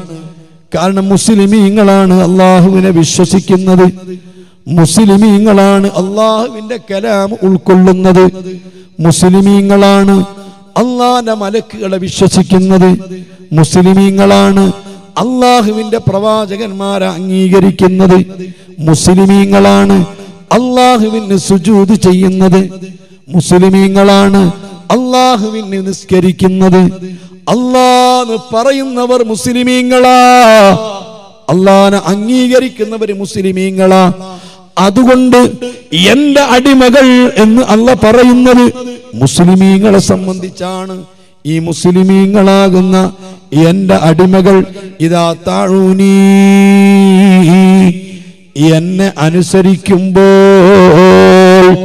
ഞാൻ പറഞ്ഞതനുസരിച്ച് ജീവിക്കുമ്പോൾ എന്റെ ഖുർആൻ ഉൾക്കൊള്ളുമ്പോൾ എന്റെ പ്രവാചകര് പറഞ്ഞത് സ്വീകരിക്കുമ്പോൾ എന്റെ ദീനനുസരിച്ച് ജീവിക്കുമ്പോൾ എന്നെ ഫോളോ ചെയ്യുമ്പോൾ എന്റെ കൽപ്പനകളും നിരോധാജ്ഞകളും ഉൾക്കൊണ്ടിട്ട് എന്റെ അടിമകളാകുന്ന മുസ്ലിമീങ്ങൾ ജീവിക്കുമ്പോൾ ഹവ്വൽതു ഖുലൂബ മുലൂക്കിഹിം അവരെ ഭരിച്ചുകൊണ്ടിരിക്കുന്ന ഭരണാധികാരികളെ ഹൃദയവും മനസ്സും ഞാൻ തിരിക്കുന്നതാണ്. എന്റെ അടിമകളോട് വളരെ ദയവുള്ളവരായി കരുണയുള്ളവരായി സ്നേഹമുള്ളവരായി ഭരിക്കുന്ന ഭരണാധികാരികളെ മനസ്സ് തിരിക്കുന്നതാ. മുസ്ലിമീങ്ങൾ എന്നെ അനുസരിച്ച് ജീവിക്കുമ്പോൾ ഞാൻ പറഞ്ഞെടുത്ത് നിൽക്കുമ്പോൾ എന്റെ മുത്തുനബിയെ സ്വീകരിക്കുമ്പോൾ മുത്തുനബിന്റെ സുന്നത്ത് ഉൾക്കൊണ്ട് ജീവിക്കുമ്പോൾ മതത്തിന്റെ മൂല്യങ്ങൾക്ക് വില കൽപ്പിക്കുമ്പോൾ അവരെ ഭരിക്കുന്ന ഭരണാധികാരികൾക്ക് അവരോട് സ്നേഹവും ദയയും കാരുണ്യവും ഞാൻ ഇട്ടുകൊടുക്കും. അങ്ങനെ ഭരിക്കുന്നവർക്കൊക്കെ നമ്മോട് വല്ലാത്ത കരുണയുണ്ടാകും സ്നേഹമുണ്ടാകും കൃപയുണ്ടാകും. ഇന്ത്യ രാജ്യത്തിന്റെ ചരിത്രം അങ്ങനെയല്ലേ? ഇന്ത്യ രാജ്യം സ്വാതന്ത്ര്യത്തിന് ശേഷം മക്കളെ ഇന്നുവരെ ഇന്ത്യയിൽ മുസ്ലിം ഭൂരിപക്ഷം ഉണ്ടായിട്ടുണ്ടോ? ഇല്ല. ഇന്ത്യൻ പ്രധാനമന്ത്രി എന്നെങ്കിലും മുസ്ലിമായിട്ടുണ്ടോ? ഇല്ല. ഇന്ത്യയിൽ ആഭ്യന്തരമന്ത്രി മുസ്ലിമായിട്ടുണ്ടോ? ഇല്ല. ഇന്ത്യ രാജ്യം ഭരിച്ചിരുന്ന എല്ലാ ഭരണാധികാരികൾക്കും മുസ്ലിമീങ്ങളോട് ദയയാണ് കൃപയാണ് കരുണയാണ്. അതുകൊണ്ടല്ലേ പതിനായിരക്കണക്കിന് പള്ളികൾ ഉണ്ടാക്കിയത് പതിനായിരക്കണക്കിന് സ്ഥാപനങ്ങൾ ഉണ്ടാക്കിയത് ലക്ഷക്കണക്കിന് ആളുകൾക്ക് ഇസ്ലാമിന്റെ വെളിച്ചം എത്തിച്ചത് ഇസ്ലാമിന്റെ പ്രബോധനം നമുക്ക് സാധിക്കുന്നത് ഇഷ്ടം അനുസരിച്ച് ദീനനുസരിച്ച് ജീവിക്കാൻ നമുക്ക് പറ്റുന്നത്. അതൊക്കെ എന്തുകൊണ്ടാ? ഭരിക്കുന്ന ആളുകൾക്ക് നമ്മോട് കൃപയും ദയയും അള്ളാഹു അവരെ ഹൃദയത്തിൽ ഇട്ടുകൊടുത്തത് കൊണ്ടാണ് അതല്ലേ? ഇന്ത്യ രാജ്യത്തെ മുസ്ലിമീങ്ങളെയും ഇന്ത്യ രാജ്യത്തെ ഹിന്ദുക്കളെയും വേർതിരിക്കാൻ പറ്റാത്ത ഒരു നാണയത്തിന്റെ ഇരുവശം പോലെയാണ് മതേതരത്വ രാജ്യമാണ് ഞാൻ കാണുന്നത് എന്ന് പറഞ്ഞതിന്റെ പേരിലല്ലേ മഹാത്മജിയെ വെടിവെച്ചു കൊന്നത്? മഹാത്മാജിയെ വെടിവെച്ചു കൊന്നിട്ടുള്ള ഗോഡ്സെ എന്താ പറഞ്ഞത്? എനിക്ക് ആ മനുഷ്യനോട് ദേഷ്യമില്ല. എനിക്ക് ആ മനുഷ്യനോട് വെറുപ്പില്ല. എനിക്ക് ആ മനുഷ്യനോട് യാതൊരു പ്രത്യേക വെറുപ്പുമില്ല. പക്ഷേ ഞാൻ ഏറ്റവും കൂടുതൽ സ്നേഹിക്കുന്നത് ഹിന്ദുത്വ രാജ്യമാണ്. ഇന്ത്യ ഹിന്ദുക്കളുടെ രാജ്യമാണ്. ആ ഹിന്ദുത്വ രാജ്യത്തോടുള്ള സ്നേഹം എനിക്ക് മഹാത്മാജിയോടുള്ള സ്നേഹത്തെക്കാൾ വലുതാണ്. അതുകൊണ്ട് മഹാത്മജി ജീവിച്ചിരിക്കുമ്പോൾ അത് നടക്കുകയില്ല എന്ന് കരുതിയിട്ട് ഞാൻ വെടിവെച്ച് കൊന്നതാണെന്ന് പറഞ്ഞെങ്കിലേ എന്തേ ആ മനുഷ്യന് ഇത്ര സ്നേഹമുണ്ടായത്? ആ മനുഷ്യൻ എന്തിനെല്ലാം സത്യാഗ്രഹം നടത്തിയിട്ടുണ്ട്? എന്തിനൊക്കെ ഉപവാസങ്ങൾ നടത്തിയിട്ടുണ്ട്? ഞാൻ അതൊന്നും വിശദീകരിക്കുന്നില്ല. ഞാൻ ഒറ്റ കാര്യമേ പറഞ്ഞിട്ടുള്ളൂ.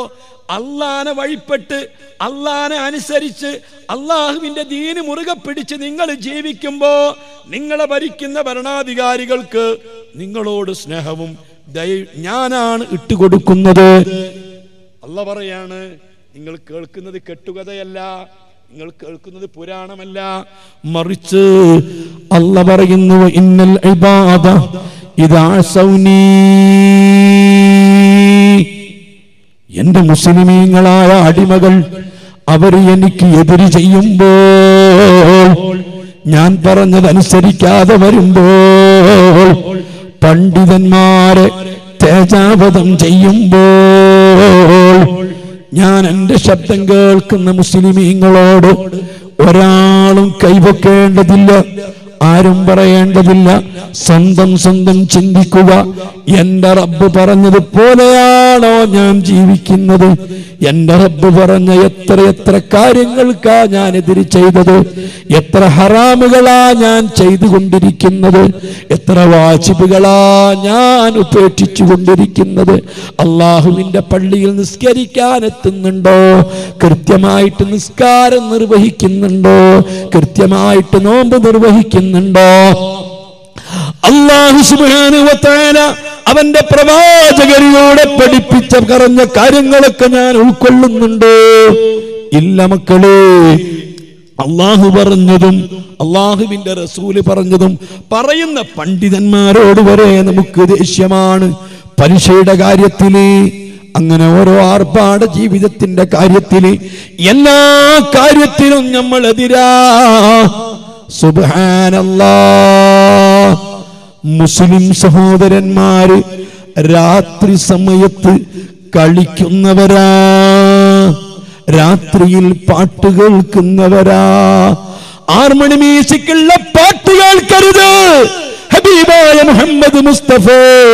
എത്ര ഗൗരവത്തിലാണ് ഈ ഉമ്മത്തിനെ പഠിപ്പിച്ചത്. അത് തെറ്റാണെന്ന് പോലും ഇന്നത്തെ സമുദായത്തിനറിയുമോ? അത് പറയാനെന്ന് സമൂഹത്തിൽ ആളുണ്ടോ? എല്ലായ്പ്പോഴും നമുക്ക് പാട്ട് മൊബൈൽ റിങ് ടൂൺ നമുക്ക് പാട്ട് ഡയൽ ടൂൺ നമുക്ക് പാട്ട് നല്ല മ്യൂസിക്കുകൾ ആ മ്യൂസിക്കുകൾക്ക് അഡിക്റ്റായിട്ടുള്ള ചെറുപ്പക്കാർ അല്ലാ. ഇതൊന്നും പാടില്ല എന്ന് പറയാൻ സമൂഹത്തിനാളില്ല പറഞ്ഞാൽ പറയുന്നവർ മേക്കിട്ട് കയറുന്ന രീതിയാണ്. സുബ്ഹാനല്ലാ അതുപോലെ നിങ്ങൾ ഓർത്തു നോക്ക് രാത്രി മനുഷ്യൻ ഏറ്റവും കൂടുതൽ പേടിക്കേണ്ടതല്ലേ? രാത്രിയിൽ തൊട്ട് രാത്രി വരുന്ന അപകടങ്ങളെ തൊട്ട് കാവൽ തേടണമെന്ന് മുത്തുനബി പഠിപ്പിച്ചതല്ലേ?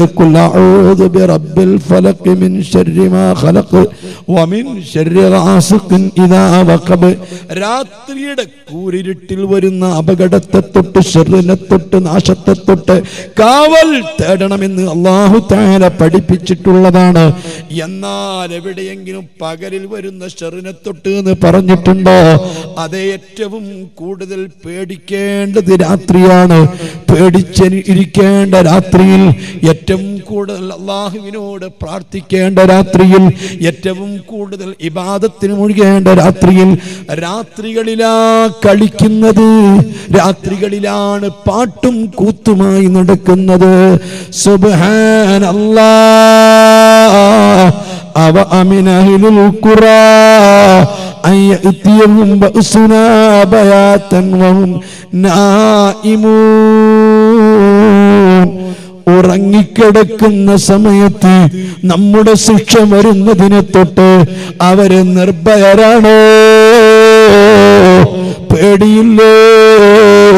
രാത്രിയിലാണ് ഏറ്റവും കൂടുതൽ പേടിക്കേണ്ടത് ഇങ്ങനെ ഓരോരോ കാര്യം എടുത്തു നോക്കുമ്പോ അള്ളാഹു കൽപ്പിച്ചതിനെതിരാണ് റസൂൽ കൽപ്പിച്ചതിനെതിരാണ് ഇമാമിയങ്ങൾ കൽപ്പിച്ചതിനെതിരാണ് അള്ളാഹുവിന്റെ ദീനിനെതിരാണ് ഈ നിലയ്ക്ക് എന്റെ ഉമ്മത്തി എന്റെ അടിമകൾ ഇവിടെ ജീവിക്കുമ്പോ. അവരെ ഭരിക്കുന്ന ഭരണാധികാരികളെ ഹൃദയങ്ങളും മനസ്സും ഞാൻ തിരിക്കുന്നതാണ്. വല്ലാത്ത ദേഷ്യമുള്ളതായി വല്ലാത്ത വെറുപ്പുള്ളതായി അള്ളാ നിഷ്കൃ നിഷ്കരുണരായി. വലിയ കാടത്തമുള്ള അത്രി മൃഗങ്ങളെക്കാൾ അതപ്പതിച്ചിട്ടുള്ള കഠിന ഹൃദയമുള്ളവരായി അവരെ ഭരിക്കുന്ന ഭരണാധികാരികളെ ഞാൻ തിരിക്കുന്നതാ. അള്ളാന്റെ റസൂൽ പറഞ്ഞത് എത്ര ഹദീസുകളിലുണ്ട്. അള്ളാഹുവിന് ഒരു കൗമിനോട് വെറുപ്പുണ്ടായാൽ അള്ളാഹ് ദേഷ്യമുണ്ടായാൽ അല്ല ചെയ്യുന്നതെന്താ? കടുത്ത അക്രമി അള്ളാഹു അവരെ മേൽ അധികാരം കൊടുത്ത് അവരെ മേൽ ഭരിക്കുന്നവനാക്കും. സുബാനല്ലാ അതാണ് ലോകത്ത് ഞാനും നിങ്ങളും ഇന്ന് അനുഭവിച്ചു കൊണ്ടിരിക്കുന്നത് നബി സല്ലല്ലാഹു അലൈഹി വസല്ലമ തങ്ങൾ പറയുന്നു അള്ളാഹു താര പറഞ്ഞിട്ടുണ്ട്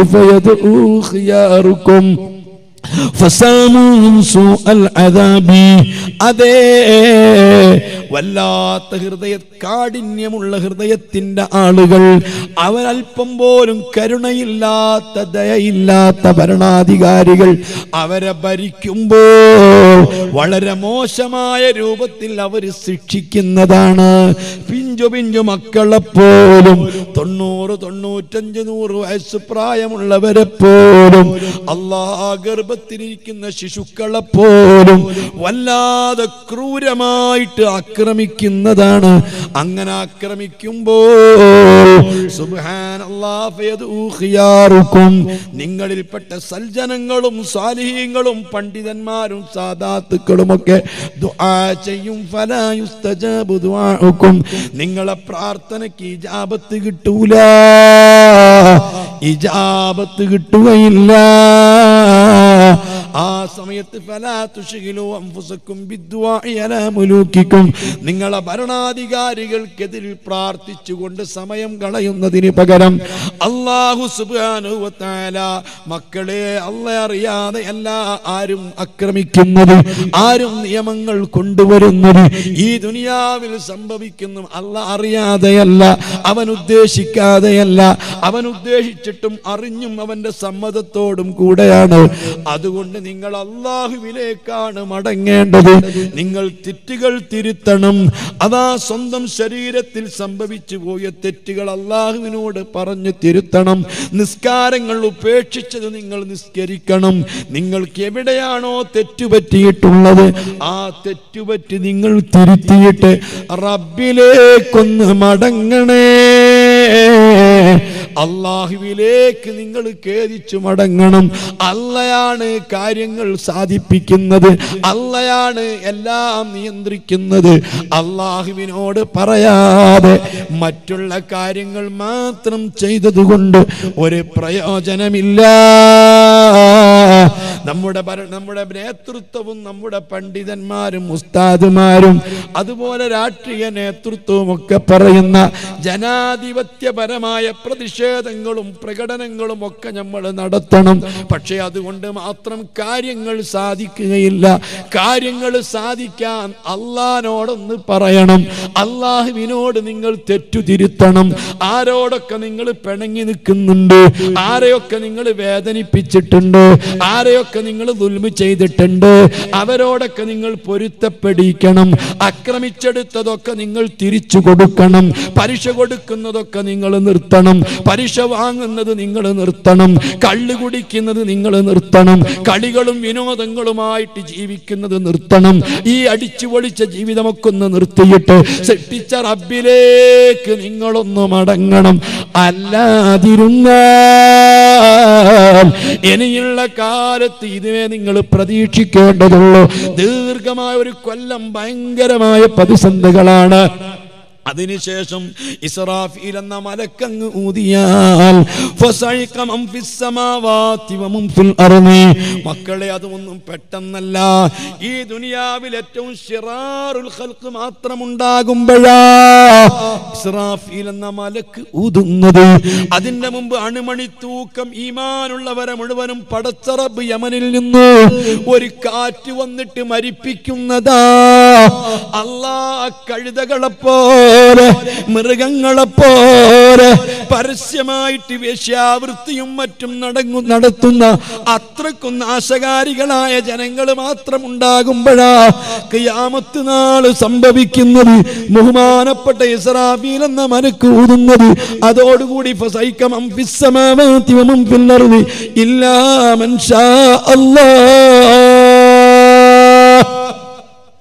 എല്ലാവരും മരിക്കും. എല്ലാവരും മരിച്ചതിന് ശേഷം ഈ ഭൂമി അള്ളാഹു മറ്റൊരു ലോകമായി മറിക്കും.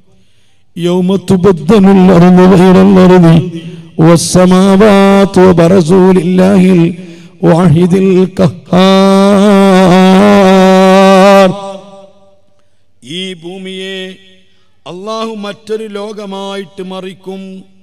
ഒരു തെറ്റും ചെയ്യാത്ത വെളുവെളുത്ത ഭൂമിയായി ഈ ഭൂമി അള്ളാഹു താല മറിക്കുന്നതാണ്. അതിനുശേഷം ഈ ഭൂമിയിൽ മറവ് ചെയ്യപ്പെട്ടിരിക്കുന്ന ജഡങ്ങളുണ്ടല്ലോ. കോടാനു കോടി മനുഷ്യരുണ്ടല്ലോ. മൃഗങ്ങളുണ്ടല്ലോ. അതിനെയെല്ലാം അള്ളാഹു സുബാനുവത്താല അതത് സ്ഥലങ്ങളിൽ തന്നെ ഒരുമിച്ച് കൂട്ടുന്നതാണ്. ഈ ഭൂമിയെ നിങ്ങളെ പള്ളിയുടെ പരിസരത്തുള്ള ഭൂമിയെ വേറൊരു ഭൂമിയായി അല്ല മറിച്ചിട്ടുണ്ടാകും. ഈ ഭൂമിയിലെവിടെയും കുന്നുകൾ കാണില്ല കുഴികൾ കാണില്ല പർവതങ്ങൾ കാണില്ല. എല്ലാം വിജനമായ ഒരു മരുഭൂമിയെ പോലെയാണ്. ഫ്ലോർ ആണെങ്കിലോ വെള്ളിയുടെ പലക പോലെയാണ്. ആ രൂപത്തിലാണ് അള്ളാഹു ഭൂമിയെ സംവിധാനിച്ചത്. അതിനുശേഷം ഇന്ന് ഭൂമിയിലുള്ള എല്ലാ ജടങ്ങളും എല്ലാ വസ്തുക്കളും അതേപോലെ തന്നെ ഈ സ്ഥലത്തേക്ക് അള്ളാഹു എത്തിക്കുന്നതാണ്. അതിനുശേഷം അർഷിന്റെ താഴ്ഭാഗത്തിൽ നിന്ന് അതാ നീണ്ട നാൽപ്പത് ദിവസം മഴ പെയ്യുന്നതാണ്. സാധാരണ മേഘത്തിൽ നിന്നാണ് മഴ പെയ്യുന്നത്. അള്ളാഹു കിയാമത്ത് നാളിനോടനുബന്ധിച്ച് അള്ളാഹു നാൽപ്പത് ദിവസം നീണ്ടു നിൽക്കുന്ന മഴ അത് അർസിന്റെ താഴ്ഭാഗത്തിൽ നിന്നാണ്. മനുഷ്യന്മാരുടെ ഇന്ദ്രിയത്തുള്ളികളെ പോലെ ഈ ഭൂമി മൊത്തം മഴ പെയ്തിട്ട് കുതിരുന്നതാണ്. ആ കുതിർന്ന ഭൂമിയിൽ അല്ലാ മനുഷ്യനിങ്ങനെ മുളച്ചു വരുന്നതാണ്. പുളിങ്ങാക്കുരു മുളക്കുന്നത് പോലെ പാവയ്ക്കുരു മുളക്കുന്നത് പോലെ വളഞ്ഞു കുത്തി മനുഷ്യൻ മുളച്ചു വരുന്നതാണ്. മുളച്ചു വരുന്ന മനുഷ്യന്റെ ശരീരത്തിലേക്ക് ആത്മാവുകൾ വീണ്ടും കയറുന്നതാണ്. ഇപ്പോൾ ആത്മാവുകളൊക്കെ ഈ ഭൂമിയിലാണ് ഉള്ളത്. മരിച്ചവരുടെ അർവാഹികൾ മുഴുവനും ആ അവരുടെ ഡെഡ് ബോഡിയെ മറവ് ചെയ്യപ്പെട്ട പരിസരങ്ങളിലാണ് ഉള്ളത്. പള്ളിക്കാട്ടിൽ അതുപോലെ സെമിത്തേരികളിൽ ചൊടലകളിൽ എവിടെയൊക്കെ മനുഷ്യന്റെ ഡെഡ് ബോഡികളുണ്ട് ആ ഡെഡ് ബോഡിയുടെ സമീപത്ത് ആ ശരീരത്തിൽ നിന്ന് പിടിച്ചിരിക്കുന്ന ആത്മാക്കളൊക്കെയും കിടക്കുന്നുണ്ട്. എന്റെ ഉപ്പ മരണപ്പെട്ടു പോയിട്ടുണ്ട്. ഉപ്പാന്റെ റൂഹ് ഉള്ളത് ഉപ്പാന്റെ കബറിന്റെ പുറത്താണ്. മഹാനായ സയ്യിദ് ഷരീഫ് മദനി തങ്ങളെ ഹദ്രത്തിലേക്ക് ചെന്നാൽ സയ്യിദ് ഷരീഫുൽ മദനി തങ്ങളെ റൂഹ് ഉള്ളത് ആ കബറിന്റെ ഉള്ളിലല്ല മറിച്ച് ആ മക്ബറയുടെ പുറത്താണ്. ഇങ്ങനെയാണ് ഓരോരുത്തരെയും അറുവാഹികളുള്ളത് ഈ ദുനിയ ഈ ഭൂമിയുടെ ഉപരിതലത്തിലുള്ള അറുവാഹികൾ ഇസ്രാഫീൽ എന്ന മലക്ക് മലക്കൂതുമ്പോ ഇവിടെ നിന്ന് പാറിപ്പോകുന്നതാണ്. പാറിയിട്ട് ഈ സൂറന്ന കാഹളത്തിൽ ചെന്ന് ഒളിക്കുന്നതാണ്. ഈ സൂറന്ന കാഹളത്തിൽ കോടിക്കണക്കിന് ചെറിയ ചെറിയ ഹോളുകളാണ്. ആ ഹോളുകളിൽ തേനീച്ചക്കൂടിനകത്തുള്ള പലകയ്ക്കകത്തുള്ള ഹോൾ പോലത്തെ ഹോളുകളാണ് അതിൽ ആത്മാവുകൾ ചെന്നൊളിക്കും. രണ്ടാമത് ഊതുമ്പോ ആത്മാവുകൾ മുഴുവനും പാറി വരും. അത് പാറി വന്നിട്ട് അതത് ബോഡിയിലേക്ക് രണ്ടാമതും കയറുന്നതാണ്. അങ്ങനെ കയറിക്കഴിഞ്ഞാൽ ഓരോ മനുഷ്യനും അവനവന്റെ കബറിന്റെ അടുത്ത് ഇരിക്കും. അൽഫാം. ആയിരം കൊല്ലം ഒരേ ഇരുത്തം ഇരിക്കും.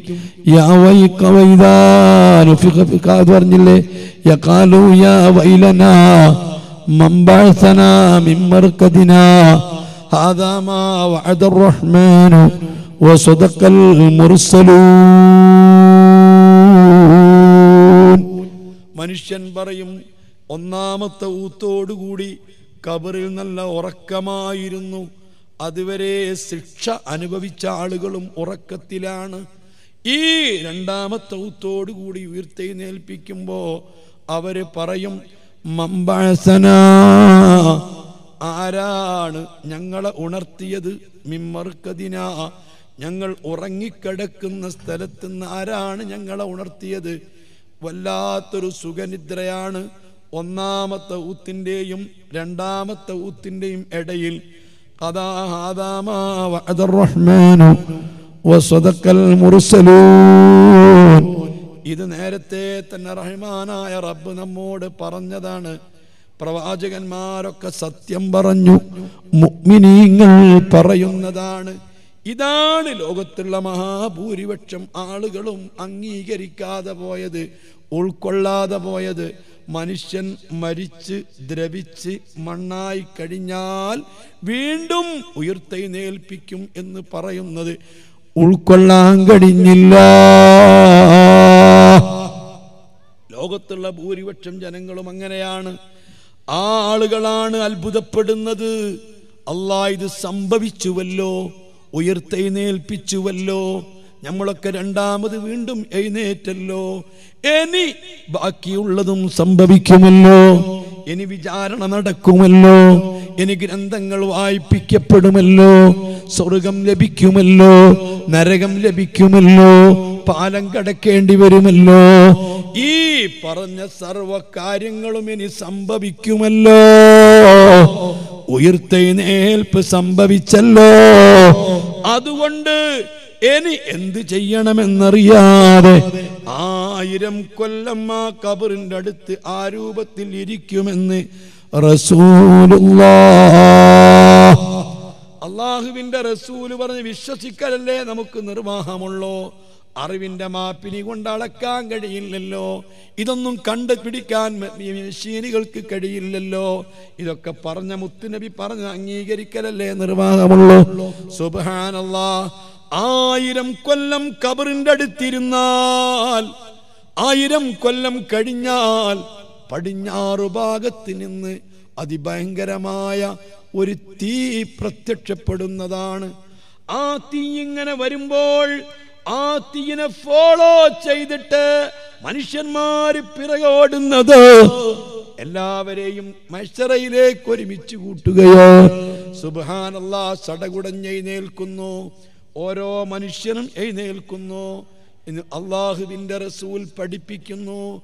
പക്ഷേ മനുഷ്യന്മാര് കബർന്ന് രണ്ടാമത് എഴുന്നേറ്റ് വരുമ്പോൾ മനുഷ്യന്മാര് ഒരേ രൂപത്തിലല്ല. ഒരേ ജുമക്ക് പങ്കെടുത്തവർ ഒരേ മഹലിൽ താമസിച്ചവർ ഒരേ കല്യാണത്തിൽ കൂടിയവർ ഒരേ ജാഥയിൽ അണിനിരന്നവർ ഒരേ പാർട്ടിയിൽ പ്രവർത്തിച്ചവർ ഒരേ കുടുംബത്തിലുള്ളവർ. എല്ലാവരും ഒരേ രൂപത്തിലല്ല. കബറിൽ നിങ്ങട്ട് നേൽക്കുമ്പോഴ് എല്ലാരും മനുഷ്യന്റെ രൂപത്തിലല്ല. മക്കളെ ഇതൊക്കെ വിശുദ്ധ ഖുർആൻ പച്ചയായി പറഞ്ഞ സത്യങ്ങളാണ്. ഈ ഖുർആൻ നമ്മ പഠിപ്പിച്ച സത്യങ്ങളാണ്. മുത്തുനബി അവിടുന്ന് ബോധ്യപ്പെടുത്തി തന്ന കാര്യങ്ങളാണ്. ഹബീബ് പറയുന്നു റസൂലുള്ളാന്റെ ഉമ്മത്ത് മാത്രം മുത്തുനബിയെ കൊണ്ട് വിശ്വസിച്ച ഉമ്മത്ത് മാത്രം നാൽപ്പത് രൂപത്തിലായിട്ടാ വരുന്നത്. അല്ലാ ഈ മയ്യത്ത് മറവ് ചെയ്ത പോലെ എല്ലാ കബർ എഴുന്നേറ്റ് വരുന്നത്. എഴുന്നേറ്റ് വരുമ്പോ സുബാനല്ലാ ചില ആളുകളുടെ ഉടൽഭാഗം മനുഷ്യന്റെ കോലത്തിലാണ്. പക്ഷേ ഈ കഴുത്തിന്റെ മേൽപോട്ട് അവന്റെ തലയും അവന്റെ മുഖവും ഒറിജിനൽ പന്നികളുടെ രൂപത്തിലുള്ളവരുണ്ട്. മറ്റൊരു കൂട്ടർ കൊരങ്ങിന്റെ രൂപത്തിലുള്ളവരുണ്ട്. മറ്റൊരു കൂട്ടർ കഴുതയുടെ രൂപത്തിലുള്ളവരുണ്ട്. മറ്റൊരു കൂട്ടർ സുബാനല്ല അവരെ മുഖവും അവരെ നാവും അവരെ കണ്ണും അവരെ മൂക്കും വല്ലാതെ വികസിച്ചിട്ടുണ്ട്. എന്നിട്ട് താഴെ ചുണ്ട് അതിവികസിച്ചിട്ട് പൊക്കിളിലെത്തിയിട്ടുണ്ട്. മേലെ ചുണ്ട് വികസിച്ചിട്ട് അവരെ മൂർദാവിൽ എത്തിയിട്ടുണ്ട്. നാവാണെങ്കിലോ നെഞ്ഞത്തേക്ക് തൂങ്ങിയിട്ടുണ്ട്. ആ രൂപത്തിലുള്ളവരുണ്ട്. വേറെ ചില ആളുകൾ അവരെ വയറിങ്ങനെ വീർത്തിട്ടുണ്ട്. ആ വീർത്ത വയറവർക്ക് എഴുന്നേൽക്കാൻ പറ്റാതെ അവരാ വയറും കൊണ്ടിട്ടിരിക്കുന്നുണ്ട്. അവക്ക് എഴുന്നേൽക്കാൻ കഴിയുന്നില്ല. എത്ര പാടുപെട്ടാലും കഴിയില്ല. ചില ആളുകൾ അവരെ മൂക്കിലൂടെ അവരെ വായിലൂടെ അവരെ ചെവിയിലൂടെ അവരെ എല്ലാ ദ്വാരങ്ങളിൽ കൂടെയും ചീഞ്ഞു നാറുന്ന ദുർഗന്ധം വമിക്കുന്ന അല്ലോ ചീഞ്ചലം പുറത്തേക്ക് തള്ളുന്നുണ്ട്. കുഹ്യങ്ങൾ ചീഞ്ഞു നാറുന്നുണ്ട്. ആ ചലങ്ങളൊക്കെ വലിയ പാത്രം കൊണ്ട് മുക്കിക്കുടിക്കുന്ന ആളുകളുണ്ട്. ഈ രൂപത്തിലാണ് റബ്ബേ ആളുകൾ കബർന്ന് എഴുന്നേൽക്കുന്നത് മക്കളെ ഇതൊക്കെ എങ്ങനെയാണ് നിങ്ങളോട് പറയേണ്ടത് എന്ന് എനിക്കറിയില്ല. പറയാൻ എനിക്ക് പ്രത്യേക ആരോഗ്യപരമായിട്ട് തോക്കത്തില്ല. നിങ്ങൾക്ക് കേൾക്കണോ? അതുകൊണ്ട് ഈ അസറാഫീൽ എന്ന മലക്കിനെ അള്ളാഹു ഉയർത്തെഴുന്നേൽപ്പിച്ച് ഉടനെ അരശന വഹിച്ചുള്ള കെറൂബീൻ എന്ന മലക്കുകളുണ്ട്. ആ മലക്കുകളെയാണ് നബിസ്വല്ലാഹു അലൈഹി വസല്ലമ തങ്ങളെ കബറിന്റെ അടുത്തേക്ക് അള്ളാഹു താല പറഞ്ഞയക്കുന്നത്. സുബ്ഹാനല്ലാ അങ്ങനെ പറഞ്ഞയക്കുമ്പോൾ ഈ ഭൂമി മൊത്തം മാറിയത് കൊണ്ട് എവിടെയാണ് മദീന എന്നറിയില്ല എവിടെയാണ് പച്ചക്കുബ എന്നറിയില്ല അത്രയ്ക്കും ഈ ഭൂമിയെ മാറ്റം വരുത്തിയിട്ടുണ്ട്. അവസാനം ഒരു ചെറിയ പ്രകാശം കാണുകയാ. ആ പ്രകാശത്തിന്റെ അടയാളം നോക്കിയിട്ട് അള്ളാഹുവിന്റെ റസൂലിന്റെ ഷറഫാക്കപ്പെട്ട കബറാണെന്ന് മനസ്സിലാവുകയാ. അവിടെ ചെന്ന് മുത്തുനബിയെ വിളിക്കുകയാ. ആദ്യമായിട്ട് കബർ പൊട്ടി പുറത്തേക്ക് വരുന്നത് മുത്തുനബിയാണ്. മുത്തു റസൂലുള്ളാഹി സ്വല്ലാഹു അലൈഹി വസല്ലമ തങ്ങൾക്ക് നാൽപ്പതോളം മേൽവസ്ത്രങ്ങൾ അണിയിപ്പിക്കപ്പെടുകയാണ്. അങ്ങനെ പ്രത്യേകം വസ്ത്രങ്ങളൊക്കെ അണിയിപ്പിച്ചിട്ട് ബുറാക്കെന്ന വാഹനം കൊണ്ട് നിർത്തിയിട്ട് ബുറാക്കെന്ന വാഹനത്തെ നമുക്ക് പരിചയമുണ്ട്. അത് തങ്ങൾക്ക് മാത്രമുള്ള വാഹനമാ. ആ വാഹനത്തിൽ തങ്ങളെ കയറ്റിയിട്ട് അങ്ങ് മദീനയിൽ നിന്ന് റസൂലുള്ളാനെ കൊണ്ടുപോയിട്ടിരുത്തുന്നത് ഫലസ്തീനിലെ ബൈത്തുൽ മുഖദ്ദസ് എന്ന പള്ളിക്ക് മുൻപിലുള്ള പാറയുടെ മുകളിലാ. ആ പാറയ്ക്ക് മുകളിൽ അതിഭയങ്കരമായ ഒരു മുത്തിന്റെ സിംഹാസനമുണ്ട്. ആ സിംഹാസനത്തിൽ തങ്ങളെ ഇരുത്തിയിട്ട് അപ്പുറത്തും ഇപ്പുറത്തും ജിബിരിൽ അലൈസലാം അതുപോലെ മീക്കായിൽ അലൈസലാം രണ്ട് മലക്ക് റസൂലുള്ളാക്ക് കാത്തു നിൽക്കുന്നുണ്ട് അങ്ങനെ അള്ളാഹുവിന്റെ റസൂലിനോട് പറയുന്നു മഹാനായ ആദൻ നബി മുതൽ കിയാമത്ത് നാൾ വരേക്കും വന്ന അമ്പിയാക്കൾ അമ്പിയാക്കളെ ഉമ്മത്തുകളൊക്കെ അങ്ങനെ കടന്നു പോകുന്നുണ്ട്. എല്ലാ മനുഷ്യരെയും അവരുടെ ഇമാമിനോടൊന്നിച്ച് നമ്മൾ കൊണ്ട് വിളിച്ചു കൊണ്ടുപോവുകയാണ് മുത്തിനബി ഇങ്ങനെ കാത്തു നിൽക്കുകയാ. അവിടുത്തെ ഉമ്മത്തിനെ കാത്തു നിൽക്കുകയാ. എന്റെ സമുദായം എവിടെ? ആ സമുദായത്തെ ചോദിക്കുമ്പോൾ ജിബിരിയിൽ പറയുന്നു നബിയേ അങ്ങയുടെ ഉമ്മത്ത് അവസാനം വരുന്നവരാ. അങ്ങനെ റസൂലുള്ളാഹി സ്വല്ലല്ലാഹു അലൈഹി വസല്ലം അങ്ങനെ പ്രതീക്ഷിച്ച് നിൽക്കുന്നു. കുറേ കാലങ്ങൾ കഴിയുമ്പോൾ അതാ കിഴക്കും പടിഞ്ഞാറും മുട്ടുന്ന രൂപത്തിൽ വലിയ ഒരു ജനസമൂഹം വരുന്നു. എന്റെ ഉമ്മത്താണെന്ന് ഞാൻ പ്രതീക്ഷിക്കുന്നു. ജിബിരിയിൽ പറയുന്നു നബിയേ അത് കലീമുല്ലാഹി മൂസ നബിയാ. നബി അലൈഹി വസ്സലാം തങ്ങൾക്ക് ലക്ഷക്കണക്കിന് അനുയായികളുണ്ട്. മുസാനബിന്റെ ഉമ്മത്തിന് ഒരുപാട് ഔലിയാക്കളുണ്ട് പണ്ഡിതന്മാരുണ്ട്. അവരാണ് വരുന്നത്. പിന്നെയും കാലങ്ങൾക്ക് ശേഷം ബഹുമാനപ്പെട്ട ജിബിരിൽ അലൈഹിസ്സലാം കാത്തിരിക്കുന്ന മുത്തിനബിന്റെ അടുത്ത് വെച്ച് പൊട്ടിക്കരയുന്നു. കരച്ചിൽ കേൾക്കുമ്പോ ചോദിക്കുന്നു ജിബിരീ എന്തിനാ കരയുന്നത്? ഒന്നുമല്ല നബിയേ അങ്ങയുടെ ഉമ്മത്ത് വരുന്നുണ്ട്. അങ്ങയുടെ ഉമ്മത്ത് വരുന്നുണ്ട്. ആ ഉമ്മത്ത് വരുന്നത് കൊണ്ട് കരയുകയാണ്. ജിബിരീലിനോട് മുത്തുനബി ചോദിക്കും എന്റെ ഉമ്മത്ത് വരുമ്പോൾ നിങ്ങൾ കരയുന്നത് എന്തിനാണ്? ഉമ്മോ മുസ്ലിമീങ്ങളെ ഞാനും നിങ്ങളും വിശ്വസിക്കുന്ന വിശ്വാസമാണ് ഇതൊക്കെ കണ്ണ് ചിമ്മി തുറന്നാൽ നമുക്ക് വരാനുള്ള സത്യങ്ങളാണ് ഇല്ലാ സംശയം വേണ്ട. അത്രക്കും കൃത്യമായിട്ടാണ് തങ്ങൾ പറയുന്നത്. അത് സത്യമാണെന്ന് തെളിയിക്കാനാണ് മുത്തു മുഹമ്മദ് മുസ്തഫ ഈ അത്ഭുതങ്ങളെല്ലാം നമുക്ക് പറഞ്ഞു തന്നത് കാണിച്ചു തന്നത് ചന്ദ്രൻ പിളർത്തി കാണിച്ചു തന്നത് ഈന്തപ്പനകളെ നടത്തിയിട്ട് കാണിച്ചു തന്നത് ചരക്കല്ലുകളെ കൊണ്ട് തസ്ബീ ചൊല്ലിപ്പിച്ചു കേൾപ്പിച്ചു തന്നത്.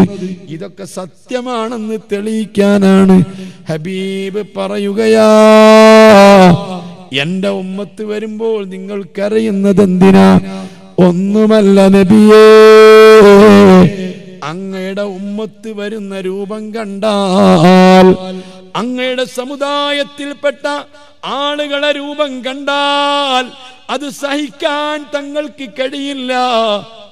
തങ്ങൾക്കത് കണ്ടു നിൽക്കാൻ കഴിയില്ല. ഏതൊക്കെ കോലത്തിലാ തങ്ങളെ ഉമ്മത്ത് വരുന്നത്? പന്നിക്കുട്ടികളെ പോലെ വരുന്നുണ്ട് കൊരങ്ങുകളെ പോലെ വരുന്നുണ്ട് കഴുതകളെ പോലെ വരുന്നുണ്ട്. വീർത്ത വയറ് പൊട്ടി കൊടലൊക്കെ പുറത്തേക്ക് ചാടിച്ച് ആളുകൾ കൊണ്ടുവരുന്നുണ്ട്. അല്ലാ അത് കാണുമ്പം തങ്ങൾ കരയുമെന്നുറപ്പാ തങ്ങളെ പിടിച്ചു നിർത്താൻ എന്നെ കൊണ്ട് കഴിയില്ല. തങ്ങളെ സമാധാനിപ്പിക്കാൻ എന്നെ കൊണ്ട് കഴിയില്ല. അതുകൊണ്ട് തങ്ങൾ കരയുമെന്നോർത്തുകൊണ്ടു കരഞ്ഞതാ.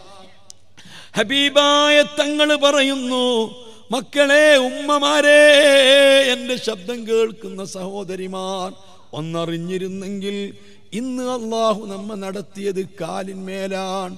നമ്മളെ നടത്തിയത് തന്നെ വലിയ അത്ഭുതമല്ലേ? നിങ്ങൾ ഓർത്തു നോക്കൂ ഓരോ മനുഷ്യന്റെയും തൂക്കം അറുപത് കിലോ തൂക്കമുള്ള ഒരു മനുഷ്യനാണെങ്കിൽ നാൽപ്പത് കിലോ അവന്റെ അരക്ക് മേൽപോട്ട ഇരുപത് കിലോ അരക്ക് താഴ്ഭാഗത്തേക്കാ. എന്നാൽ ഇത്രയും നാൽപ്പത് കിലോ തൂക്കമുള്ള ഈ വലിയ വെയിറ്റുള്ള ബോഡിയെ താങ്ങി നിർത്തുന്നത് ഇരുപത് വെയിറ്റ് ഇരുപത് കിലോ വെയിറ്റ് ഉള്ള കാലുകളാ. ഇതെങ്ങനെയാ സാധിക്കുന്നത്? ഈ മൈക്ക് നിൽക്കണമെങ്കിൽ ഈ മൈക്കിനേക്കാൾ ഇതിനേക്കാൾ ഭാരം തൂങ്ങിയത് അതിന്റെ താഴത്ത് വേണ്ടേ? വെയിറ്റുള്ള സാധനമല്ലേ? പിടിച്ചു നിൽക്കാൻ പറ്റുള്ളൂ. നമ്മൾ കോൺക്രീറ്റ് കെട്ടിടം അങ്ങനെയല്ലേ? അതിന്റെ മുരട്ടി എത്ര വെയിറ്റ് ഉണ്ട്? അതല്ലേ ഭാഗത്ത് പിടിച്ചു നിൽക്കുള്ളൂ. പക്ഷേ മനുഷ്യനെ പറ്റി നിങ്ങൾ ആലോചിച്ച് നോക്ക്. മനുഷ്യന്റെ ചെറിയ പാദം കാലുകൊണ്ടാ ഇത്രയും വെയിറ്റുള്ള മനുഷ്യനെ പിടിച്ചു നിർത്തുന്നത്. ഇത് വലിയ അത്ഭുതമാണ്. മനുഷ്യന്റെ ബാലൻസ് അള്ളാഹു സൃഷ്ടിച്ചിരിക്കുന്നത് ചെവിയിലാ. അതുകൊണ്ടാണല്ലോ പറയുന്നത്. സുബഹിക്ക് വാങ്ങി വിളിക്കുമ്പോൾ എഴുന്നേൽക്കാത്ത മനുഷ്യന്റെ ചെവിയിൽ പിശാജ് മൂത്രിക്കുന്നതാ. എന്തേ പിശാജ് മൂക്കിൽ മൂത്രിക്കാഞ്ഞത്? എന്തേ പിശാജ് കണ്ണിൽ മൂത്രിക്കാഞ്ഞത്? എന്തേ പിശാജ് മൊയ് വായിൽ മൂത്രിക്കാഞ്ഞത്? പിശാജ് മൂത്രിക്കുന്നത് ചെവിയിലാണ്. അള്ളാന്റെ റസൂൽ പറഞ്ഞിട്ടില്ലേ? അള്ളാഹുവിന്റെ പള്ളിയിൽ നിന്ന് സുബൈക്ക് വാങ്ങി വിളിക്കുമ്പോൾ എഴുന്നേൽക്കാത്തവന്റെ ചെവിയിൽ പിശാജ് മൂത്രിക്കുമെന്ന് ബുഖാരിയിലില്ലേ? എന്താ ചെവിയിൽ മൂത്രിക്കുന്നത്? മനുഷ്യനെ നിയന്ത്രിക്കുന്നത് ചെവിയാണ്. മനുഷ്യനെ നേരെ നിർത്തുന്നത് ചെവിയാണ്. ആ നേരെ നിർത്തുന്ന മനുഷ്യന്റെ ആന്റിനകളാ രണ്ട് ചെവികൾ. അവന്റെ ബാലൻസ് ഈ ചെവിയിലാണുള്ള സംവിധാനിച്ചത്. ആ ബാലൻസ് സംവിധാനിച്ചിരിക്കുന്ന മനുഷ്യനെ നേരെ നിർത്തുന്ന ചെവിയിൽ പിശാജ് മൂത്രിച്ചു കഴിഞ്ഞാൽ അന്ന് പിന്നെ അവന് മൂടുണ്ടാവില്ല. അന്ന് പിന്നെ ആ മനുഷ്യന് സന്തോഷമുണ്ടാവില്ല. അവന്റെ എല്ലാം പിശാജ് നക്കിപ്പോയി. അവൻ പിശാജിന്റെ നിയന്ത്രണത്തിലാ. അന്ന് പിശാജ് അവനതാ കൊരങ്ങ് കളിക്കിപ്പിക്കുന്നത് പോലെ പിശാജ് സുബൈക്ക് എഴുന്നേൽക്കാത്ത മനുഷ്യനെ കളിപ്പിച്ചു കൊണ്ടിരിക്കും അവനെ കൊണ്ട് ചെയ്യിപ്പിക്കാൻ പറ്റാത്തതില്ല. എല്ലാ തോന്നിവാസങ്ങളും ചെയ്യിപ്പിക്കും. എല്ലാ വേണ്ടാത്തതും അവനെ കൊണ്ട് ചെയ്യിപ്പിക്കും. അതൊക്കെ പിശാജിന് അവന് സ്വാ- പിശാജിന്റെ സ്വാധീനത്തിൽ അവൻ അകപ്പെട്ട് കഴിഞ്ഞോ. സുബൈക്ക് നിൽക്കാത്ത മനുഷ്യനതാ. ഇരിക്കട്ടെ എന്നാൽ അള്ളാഹു ഇന്ന് ഈ കാലിലാണ് നമ്മളെ നടത്തിയതെങ്കിൽ മനുഷ്യരയിലേക്ക് നടത്തുന്ന രംഗം ഖുർആാനിലുണ്ട്. നിങ്ങൾ ഉസ്താദിനോട് ചോദിക്ക് വനശ്വരുഹും അലാവുജൂഹിയും മനുഷ്യന്റെ രണ്ട് കൈയും കാലും മേൽപോട്ട് പൊക്കി പിടിച്ചിട്ട് അവന്റെ മുഖം നിലത്ത് കുത്തിയിട്ട് മുഖം നിലത്ത് കുത്തി നടത്തിക്കാൻ അള്ളാഹുവിന് കഴിയും. കുറെ ആളുകൾ അങ്ങനെയാ നടന്നു വരുന്നത്. ഇതൊക്കെ കാണുമ്പോ മുത്തുനബി കരയുകയാ. അവിടുന്ന് പറയുകയാ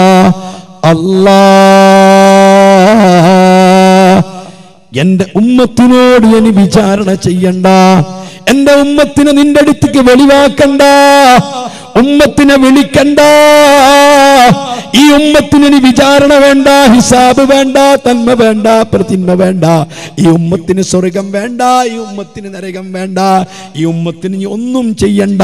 ഈ ഉമ്മത്തിന് നിന്റെ അടുത്തേക്ക് ഇനി വെളിവാക്കണ്ട. ഹബീബായ തങ്ങൾ പൊട്ടിക്കരയുന്നു. ഇതെന്നെ എമ്പാടും മതി. എന്റെ ഉമ്മത്തിന് കിട്ടിയത് തന്നെ മതി. അനുഭവിച്ചത് തന്നെ മതി. അവർ ഞാൻ കണ്ടത് തന്നെ മതി. അല്ല അല്ല. ഈ ദുനിയാവിൽ വെച്ചുകൊണ്ട് കള്ളു കുടിച്ചവർ ലഹരി ഉപയോഗിച്ചവർ അവരൊക്കെ മൈഷറയിൽ വരുന്ന രംഗം ഹബീബ് പഠിപ്പിച്ചില്ലേ? ഈ വിചാരണ തന്നെ മതി കേട്ടോ. വിചാരണ വേണ്ട ഈ ഉയർത്തെഴുന്നേൽപ്പിക്കൽ തന്നെ മതി. സുബ്ഹാനല്ലാ. ഞാൻ ഇടയ്ക്കൊരു കാര്യം കൂടി നിങ്ങളോട് പറഞ്ഞോട്ടെ? എത്ര കണ്ട് പറഞ്ഞു തീർക്കാൻ കഴിയുമെന്നറിയില്ല. അള്ളാഹുത്താര തൗഫീക്ക് തന്നെങ്കിൽ അവൻ നമ്മ അനുഗ്രഹിച്ചെങ്കിൽ മറ്റൊരു സമയത്ത് കൃത്യമായി നമുക്ക് പറയാ ഞാൻ ഒരു കാര്യം നിങ്ങളെ ശ്രദ്ധയിൽപ്പെടുത്തട്ടെ.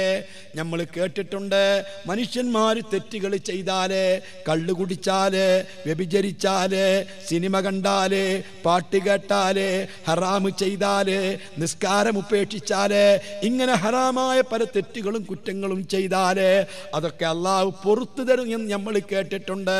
നിസ്കാരം കൊണ്ട് പൊറുക്കുമെന്ന് കേട്ടിട്ടുണ്ട്. ഹജ്ജും ഉംറയും ചെയ്താൽ പൊറുക്കുമെന്ന് കേട്ടിട്ടുണ്ട്. റമദാൻ മാസം നോമ്പെടുത്താൽ പൊറുക്കുമെന്ന് കേട്ടിട്ടുണ്ട്.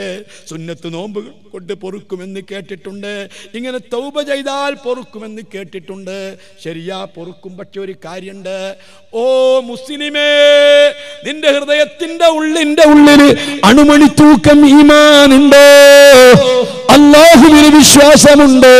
സ്വർഗം നിനക്ക് വിശ്വാസമുണ്ടോ? മുത്തുനബിയിന് വിശ്വാസമുണ്ടോ? ആഹ്റത്തിന് വിശ്വാസമുണ്ടോ? ഇതൊക്കെ സത്യമാണെന്ന് നിനക്ക് തോന്നിയിട്ടുണ്ടോ? ഉറപ്പുണ്ടോ? ഞാൻ നിന്നെ ബോധ്യപ്പെടുത്തുന്നു. നീ ദുനിയാവിൽ എപ്പോഴെങ്കിലും ഒരു തെറ്റ് ചെയ്തിട്ടുണ്ടെങ്കിൽ ഒരു ഹറാമ് ചെയ്തിട്ടുണ്ടെങ്കിൽ ഒരു പെണ്ണിനെ നോക്കിയിട്ടുണ്ടെങ്കിൽ ഒന്ന് വ്യഭിചരിച്ചിട്ടുണ്ടെങ്കിൽ ഒന്ന് കള്ളു കുടിച്ചിട്ടുണ്ടെങ്കിൽ പരീക്ഷ വാങ്ങിയിട്ടുണ്ടെങ്കിൽ മ്യൂസിക്കുള്ള പാട്ട് കേട്ടിട്ടുണ്ടെങ്കിൽ ഹറാമ് ചെയ്തിട്ടുണ്ടെങ്കിൽ വല്ല തെറ്റും ചെയ്തിട്ടുണ്ടെങ്കിൽ എവിടെയെങ്കിലും വെച്ച് നിന്റെ റബ്ബ് നിന്നോട് അത് വീട്ടാതിരിക്കൂല. ചോദിക്കാതിരിക്കൂല. ശിക്ഷിക്കാതിരിക്കൂല. മുഹമ്മദ് ഏത് ആയത്ത് ഖുർആനുള്ള കാലത്തോളം?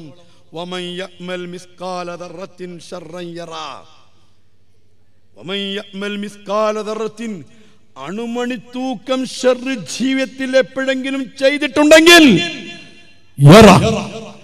എവിടെയെങ്കിലും വെച്ചത് കാണും.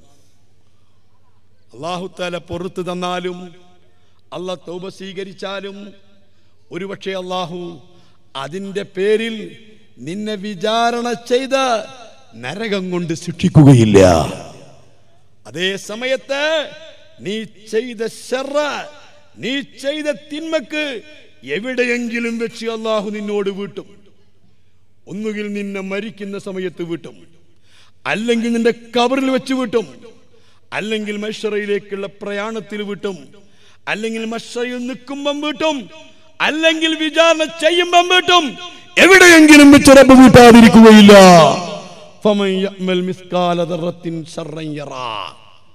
നിങ്ങൾ എന്താ മനസ്സിലാക്കിയത്? എന്താ നിങ്ങൾ മനസ്സിലാക്കിയത്? അല്ല പച്ചയായി പറഞ്ഞതാ. ആരെങ്കിലും അണുമണി തൂക്കം ഷെറ് ചെയ്തിട്ടുണ്ടെങ്കിൽ അല്ല പൊറത്തു തന്നാൽ ഒരുപക്ഷെ വിചാരണ ചെയ്യൂല. ചോദിക്കൂല. അല്ലെങ്കിൽ അള്ളാഹു താല അതിന്റെ പേര് നരകത്തിലിടൂല. മറിച്ച് എവിടെയെങ്കിലും വെച്ചത് വീട്ടിയിരിക്കും. ഒന്നെങ്കിൽ ദുനിയാവിൽ വെച്ച് വീട്ടിയിരിക്കും. അല്ലെങ്കിൽ മരണത്തിന്റെ സമയത്ത് വീട്ടിയിരിക്കും. അല്ലെങ്കിൽ നിന്റെ കബറിൽ വെച്ചെങ്കിലും വീട്ടിയിരിക്കും. അള്ളാഹു നമ്മ കാത്തു രക്ഷിക്കട്ടെ. അള്ളാഹു നമ്മെ കാത്തു രക്ഷിക്കട്ടെ. എന്റെ പ്രിയപ്പെട്ട സഹോദരന്മാരെ ഞാൻ നിർത്തുകയാണ്. സമയം കഴിഞ്ഞു. ഒരൊറ്റ കാര്യം ഞാൻ വിചാരണയിലേക്കൊന്നും നടക്കുന്ന എത്തിയിട്ടില്ല. മത്സറ വിചാരണ എന്ന് പറയുന്നത് രണ്ടോ നാലോ ആറോ പത്തോ മണിക്കൂർ കൊണ്ട് പറഞ്ഞു തീരില്ല നമുക്കൊക്കെ അത് ചില ഭാഗങ്ങൾ മാത്രം കേട്ട് കേൾവേ ഉള്ളൂ. അതിന്റെ വ്യക്തമായ ചിത്രം അറിയില്ല. ഹബീബായ മുഹമ്മദ് റസൂലി സ്വല്ലല്ലാഹു അലൈഹി വസല്ലമ വിശുദ്ധ ഖുർആാനിൽ ഏറ്റവും കൂടുതൽ പറഞ്ഞത് ഈ വിഷയമാണ്. ഖുർആനിൽ ഏറ്റവും കൂടുതൽ പറഞ്ഞത് ആഹിറത്തെ പറ്റിയാണ്. നിസ്കാരത്തെ പറ്റി പത്തായത്ത് തികയില്ല. നോമ്പിനെ പറ്റി അഞ്ചായത്ത് തികയില്ല. സക്കാത്തിനെ പറ്റി വളരെ കുറഞ്ഞ ആയത്തുകൾ. പറഞ്ഞത് മുഴുവനും ഖുർആാനിൽ പറഞ്ഞത് ആഹിറത്തെ പറ്റിയാണ്. പക്ഷേ അതിനെക്കുറിച്ച് നമുക്ക് അറിയില്ല. ഞാൻ പറയുന്നു ഏതൊരു മനുഷ്യനെയും അള്ളാഹു താല ആദ്യം സ്വന്തമായിട്ട് വിളിക്കും. അതിന്റെ മുമ്പ് ആയിരക്കണക്കിന് കൊല്ലങ്ങളും അവിടെ ഭയങ്കരമായ സംവിധാനങ്ങളുമുണ്ട്. അതൊക്കെ ഞാൻ അവിടെ നിർത്തി. വിചാരണ എന്ന ആ പദത്തോട് ഒരു കൂറ് പുലർത്താൻ വേണ്ടി ഈ ഹദീസ് പറയുകയാണ്. ഓരോ മനുഷ്യനെയും അള്ളാഹു വിളിക്കും. എല്ലാവരെയും അള്ളാഹു താല വിചാരണ ചെയ്യും എന്ന് കരുതണ്ട. എല്ലാ മനുഷ്യനെയും മനുഷ്യർക്കും അള്ളാഹു നന്മയും തിന്മയും എഴുതിയ ഏടുകൾ കൊടുക്കുന്നു എന്ന് കരുതണ്ട. ഏടുകൾ കൊടുക്കാത്ത കോടിക്കണക്കിന് ആളുകളുണ്ട്. നന്മയും തിന്മയും ചെയ്ത പ്രവർത്തിച്ച റെക്കാർഡ് ഏടുകൾ കൊടുക്കുന്നത് മുത്തുനബിന്റെ ഉമ്മത്തിൽപ്പെട്ട മോമിനിയങ്ങൾക്ക് മാത്രമാണ്. അള്ളാഹു താല ആ രൂപത്തിൽ വിചാരണ ചെയ്യുന്ന മുത്തുനബിന്റെ ഉമ്മത്തിൽപ്പെട്ട മോമിനിയങ്ങളെ മാത്രമാണ്. പാലം കടക്കുന്നതും അങ്ങനെ തന്നെയാണ്. അതേ സമയത്ത് കോടിക്കണക്കിന് ആളുകളെ അള്ളാഹു താല വിചാരണ കൂടാതെ സ്വർഗത്തിലെത്തിക്കുന്നത് പോലെ വിചാരണ കൂടാതെ നരകത്തിലേക്ക് ഇടുന്നുണ്ട്. നിങ്ങൾ കേട്ടിട്ടുണ്ടോ? ഒറ്റ സംഭവം. എല്ലാ മനുഷ്യരിൽപ്പെട്ട ഓരോരുത്തരെയും അള്ളാഹു അടുത്തേക്ക് വിളിക്കും. അള്ളാഹുവിന്റെ മുൻപിൽ ഓരോ മനുഷ്യനെയും നിർത്തും. ആരെ നിർത്തുന്ന പറയുന്നത്? പ്രസംഗിച്ചുകൊണ്ടിരിക്കുന്ന ഈ കോട്ടിട്ട സക്കാഫിയെ പിടിച്ചു നിർത്തും. എന്റെ മുമ്പിലിരിക്കുന്ന ഓരോരുത്തരെയും പിടിച്ചു നിർത്തും. അള്ളാഹുവിന്റെ മുൻപിൽ നിർത്തും. എങ്ങനെ കദിബിജിൻ ഒരു ചെറിയ ആട്ടിൻകുട്ടിയെ പോലെ ഇങ്ങനെ വിറക്കുന്നുണ്ടാകും. ഇതേ മറ്റുള്ളവരെ കഥല്ല നമ്മളെ കഥയെ പറയുന്നത്. മഹാനായ റബ്ബിന്റെ മുൻപിൽ ഒരു ചെറിയ ആട്ടിൻകുട്ടി ഇങ്ങനെ വിറയ്ക്കുന്നത് പോലെ വിറച്ച് റബ്ബിന്റെ മുൻപിൽ നിർത്തും. നിർത്തിയിട്ട് തൊട്ടപ്പുറത്ത് കാണുന്നത് എന്താ കത്തിയാളുന്ന നരകം. നരകം മക്കളെ മഞ്ഞ നിറത്തിലല്ല. നരകം വെളുത്ത നിറത്തിലല്ല. നരകം ചുവപ്പ് കളറല്ല. നരകം അതാ കൂരാ കൂരി ഇരുട്ടാണ്. സൗദാ മുതലിമ കറു കറുത്ത കൂരിരുട്ടുള്ള സ്ഥലമാണ് നരകം. നരകത്തിലെത്തി കറുത്തിട്ടാണ്. നരകത്തിലെത്തി നമ്മൾ ഈ ദുനിയാവിൽ കാണുന്ന തീ പോലെയല്ല. വെളുത്ത തീയല്ല ചുവന്ന തീയല്ല കറു കറുത്ത തീയാണ്. നിങ്ങൾ കേട്ടിട്ടുണ്ടോ? ഈ അഗ്നിപർവതം പൊട്ടിത്തെറിച്ചു എന്ന് കേൾക്കുമ്പോൾ ഈ ഭൂമിക്കടി നിന്ന് പുറത്തുനിന്ന് ലാവയെ പറ്റി കേട്ടിട്ടുണ്ടോ? നാലായിരത്തി അഞ്ഞൂറ് ഡിഗ്രി ചൂടാണ് ഈ ഭൂമിക്കകത്തുനിന്ന് പുറത്തു വരുന്ന ലാവ. നമ്മൾ സാധാരണ ചായ കാച്ചുമ്പോൾ വെള്ളം തിളക്കുമല്ല ആ വെള്ളം തിളക്കുമ്പോൾ എത്ര ഡിഗ്രി ചൂടാണ്? നൂറ് ഡിഗ്രി ചൂടാകുമ്പോൾ ആ തിളക്കുന്നത്. നൂറ് ഡിഗ്രി. നൂറ് ഡിഗ്രി ചൂടാകുമ്പോൾ വെള്ളം ഇങ്ങനെ കത്തി തിളക്കും. എന്നാൽ ഈ ഭൂമിക്കടിയിൽ നിന്ന് പുറത്തു വരുന്ന ലാവയുടെ ചൂട് നാലായിരത്തി അഞ്ഞൂറ് ഡിഗ്രിയാണ്. അത് കറുത്തിട്ടാ. നരകത്തിലെത്തി കറുത്തിട്ടാ.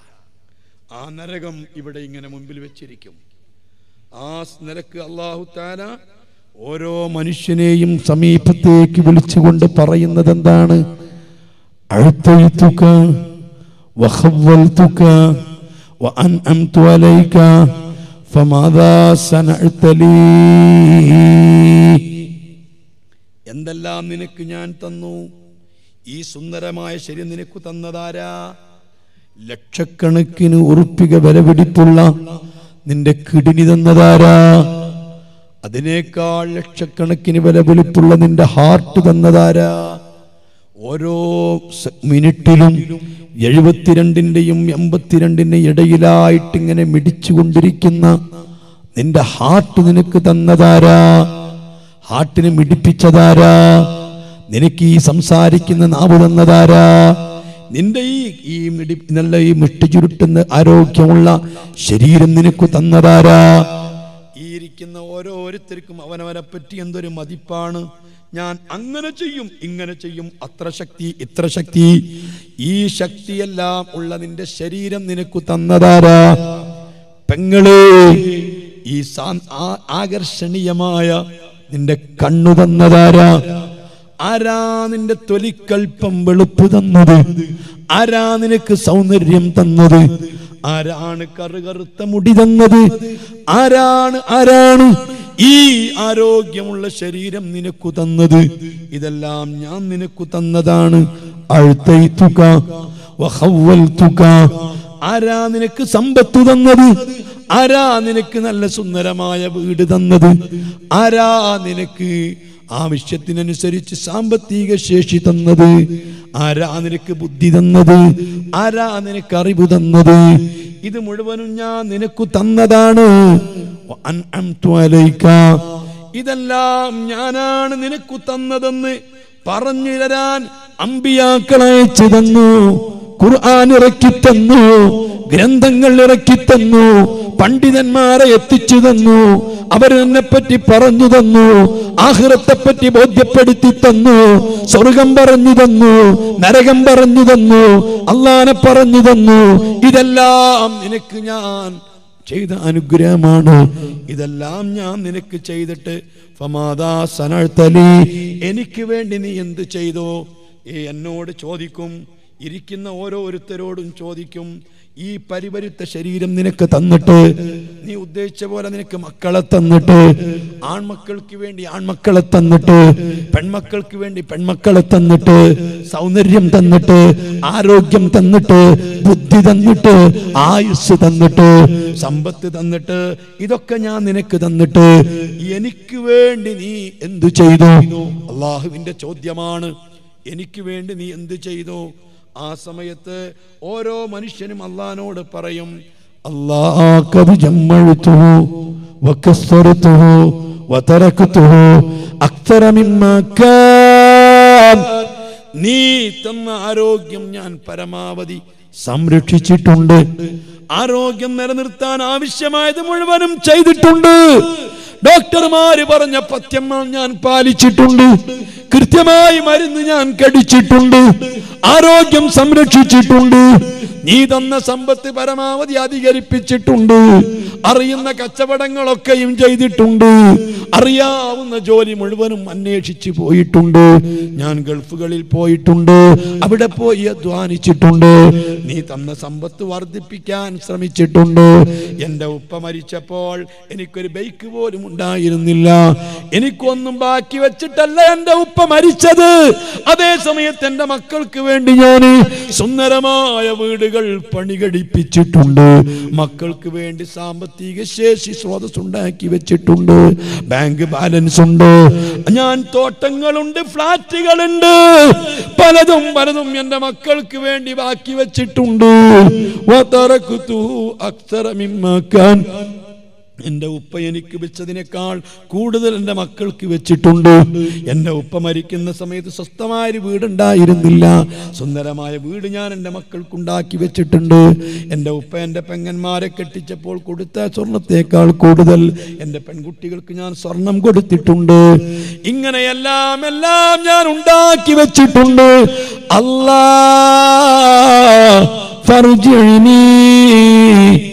ഒന്നുകൂടി നീ ദുനിയാവിലേക്ക് എന്നൊന്ന് മടക്കുമോ? ഒരവസരം എനിക്ക് നൽകുമോ? കുല്ലിഹി അതെല്ലാം നിനക്ക് കൊണ്ട് തന്നേക്കാം. ഞാൻ പറയുന്ന വർത്തമാനമാ? നിങ്ങൾ പറയുന്ന വർത്തമാനമാ? അള്ളഹാനോട് പറയുന്നത് ഒന്നുകൂടി ദുനിയാവിലേക്ക് എന്നെ മടക്കിയെങ്കിൽ എല്ലാം നിനക്ക് വേണ്ടി തിരിച്ചു തരാ. ആരോഗ്യം മൊത്തം നിനക്കു തരാ സമ്പത്ത് മൊത്തം നിനക്കു തരാ മക്കളെ നിന്റെ വഴിയിൽ തരാ. എല്ലാം നിനക്ക് വേണ്ടി ഞാൻ തരാം എന്ന് പറയുമ്പോ റബ്ബുൽ ഇജ്ജത്ത് പറയുന്ന മറുപടി അറിയുമോ? നിന്നോട് ചോദിച്ചിട്ടില്ല. എന്ത് നീ ചെയ്യുമെന്ന് ചോദിച്ചിട്ടില്ല. ഇനി ഒരിക്കൽ കൂടി ദുനിയാവിലേക്ക് നിന്നെ മടക്കിയാൽ എനിക്ക് വേണ്ടി നീ എന്തു ചെയ്യുമെന്ന് നിന്നോട് ചോദിച്ചിട്ടില്ല. ഇതെല്ലാം നിനക്ക് ഞാൻ തന്നിട്ട് നൽകിയിട്ട് ഇരുപത്തഞ്ചും മുപ്പതും അറുപതും എഴുപതും എൺപതും കൊല്ലം ആയുസ് തന്നിട്ട് ഇത്രയും ആരോഗ്യം നിനക്ക് തന്നിട്ട് ഇത്രയും ബുദ്ധി നിനക്ക് തന്നിട്ട് ഇത്രയും സമ്പത്ത് തന്നിട്ട് ഇത്രയും സൗകര്യങ്ങൾ തന്നിട്ട് എനിക്ക് വേണ്ടി നീ എന്ത് ചെയ്തു? ഇത് മാത്രമാണ് നിന്നോട് ചോദിക്കുന്നത്. അല്ല അല്ല. അഹിർസമാനിലെ മക്കളെ എന്റെ പ്രഭാഷണം കഴിഞ്ഞ് നിങ്ങൾ പിരിഞ്ഞു പോകുമ്പോ നിങ്ങളെ മാർക്ക് എനിക്ക് വേണ്ട അഭിപ്രായം എനിക്ക് വേണ്ട. ഈ ചോദ്യത്തിന് മറുപടി പറയാൻ എന്തെങ്കിലും നിങ്ങളെ കയ്യിലുണ്ടോ? നിനക്ക് വേണ്ടി ചെയ്തു എന്ന് പറയാൻ പറ്റുന്നൊരു നിസ്കാരം. അല്ലാ. ഇത്രയും കാലം നിസ്കരിച്ചിട്ട് നിനക്ക് വേണ്ടി നിസ്കരിച്ചു എന്ന് പറയാൻ പറ്റുന്ന ഒരു നിസ്കാരം നിനക്ക് വേണ്ടി ചെയ്തു എന്ന് പറയാൻ പറ്റുന്ന ഒരു അമൽ. എത്രയോ ആയിരക്കണക്കിന് പതിനായിരക്കണക്കിന് വേദികളിൽ ഇതുപോലെ പ്രസംഗിച്ചിട്ടുണ്ട്. പക്ഷേ നിനക്ക് വേണ്ടി പ്രസംഗിച്ചു എന്ന് പറയാൻ പറ്റുന്ന ഒരു പ്രസംഗം നിനക്ക് വേണ്ടി കേട്ടു എന്ന് പറയാൻ പറ്റുന്ന ഒരു പ്രസംഗം നിനക്ക് വേണ്ടി പ്രവർത്തിച്ചു എന്ന് പറയാൻ പറ്റുന്ന ഒരു പ്രവർത്തനം ഓർമ്മയുണ്ട മോനെ. ഒരിക്കലെങ്കിലും നിസ്കരിക്കുമ്പം സൃഷ്ടിച്ച റബ്ബിന് വേണ്ടി. എന്നെ സൃഷ്ടിച്ച റബ്ബിന് വേണ്ടി സുജോതി ചെയ്യുന്നു ഒരു ചിന്ത വന്നിട്ടുണ്ടോ? അല്ലാ മാറ്റുരക്കുന്നവൻ വല്ലാത്ത കാഴ്ചയുള്ളവന്. അത് ചോദിച്ച തന്നെ അള്ളാഹു ചോദിക്കുമ്പോ ഇവന് മറുപടി പറയാനില്ലാതെ പറഞ്ഞു തന്നെ പറഞ്ഞു തന്നെ പറയുമ്പോ അല്ല പറയും മലക്കുകളെ ഇവനെ ഒന്ന് മാറ്റി നിർത്തൂ ഇവനെ ഒന്ന് മാറ്റി നിർത്തൂ. പറഞ്ഞു തീരുമ്പോഴേക്ക് രണ്ട് കൈകളിൽ ഇതാ കുടുക്ക് ചങ്ങല വന്നു. ഈ കുടുക്ക് ചങ്ങല ഇട്ടിട്ട് അവന്റെ കഴുത്തിന്റെ താഴ്ഭാഗത്തേക്ക് കുത്തിയിട്ട് കുരുക്കിപ്പോയി. ഇനി താഴോട്ട് നോട്ടമില്ല. ആ രൂപത്തിൽ അവനെ മാറ്റി നിർത്തി. അങ്ങനെ കോടിക്കണക്കിന് ആളുകളാണ്. മക്കളെ ഈ പറയുന്നത് സത്യമാ. ഒരിക്കലും കളവല്ല കെട്ടുകഥയല്ല. സഹിയായ ഹദീസില്ല ഇമ്മത്ത് പഠിപ്പിച്ച സത്യങ്ങളാണ്. ഇങ്ങനെ കോടിക്കണക്കിന് ആളുകൾ അങ്ങനെ മാറ്റി നിർത്തുകയാണ്. ആ മാറ്റി നിർത്തപ്പെടുന്ന ആളുകൾക്ക് പിന്നെ മക്കളെ നന്മയും തിന്മയും ഏടുകൾ കൊടുക്കുന്നില്ല. അവരോട് പിന്നെ റക്കമൻ അവരോട് പിന്നെ ചോദ്യമില്ല. അവർക്ക് ഒരാളെ ശഫായത്തുമില്ല. അമ്പിയാക്കൾ തിരിക്കാൻ അവരെ തിരിഞ്ഞു നോക്കുകയില്ല. നിങ്ങൾക്കറിയണോ ലോകത്തിന്റെ കാരുണ്യത്തിന്റെ കടലായ മുത്തു മുഹമ്മദ് മുസ്തഫ. നമുക്കൊക്കെയും പ്രതീക്ഷയുള്ളത് മുത്തുനബിയാണ്. ഈ മുത്തുനബി ഷഫായത്ത് മാത്രമല്ല ചെയ്യുന്നത്. അള്ളാഹുവിന്റെ റസൂൽ അവിടുത്തെ ഉമ്മത്തുകൾക്ക് വേണ്ടി അള്ളഹാനോട് ഷഫായത്ത് ചെയ്ത് സ്വർഗത്തിലേക്ക് എത്തിക്കും എന്ന് മാത്രമേ ഞാനും നിങ്ങളും കേട്ടിട്ടുള്ളൂ. എന്നാൽ നിങ്ങൾക്ക് കേൾക്കണോ? അള്ളാഹു ഖുർആനിൽ പറയുന്നു മിൻ കുല്ലി ഉമ്മത്തിൻ ബിക അലാ ഓരോ സമുദായത്തിനും ആ സമുദായം ചെയ്ത് കൂട്ടിയ തിന്മകൾക്ക് തെറ്റുകൾക്ക് ആ സമുദായത്തിലെ പ്രവാചകനെ സാക്ഷിയായി കൊണ്ടുവരുമ്പോൾ നിങ്ങളെ ഉമ്മത്ത് ചെയ്തു കൂട്ടിയ പരാക്രമങ്ങൾക്ക് നിങ്ങളെ ഞാൻ സാക്ഷിയായി കൊണ്ടുവരും നബിയേ.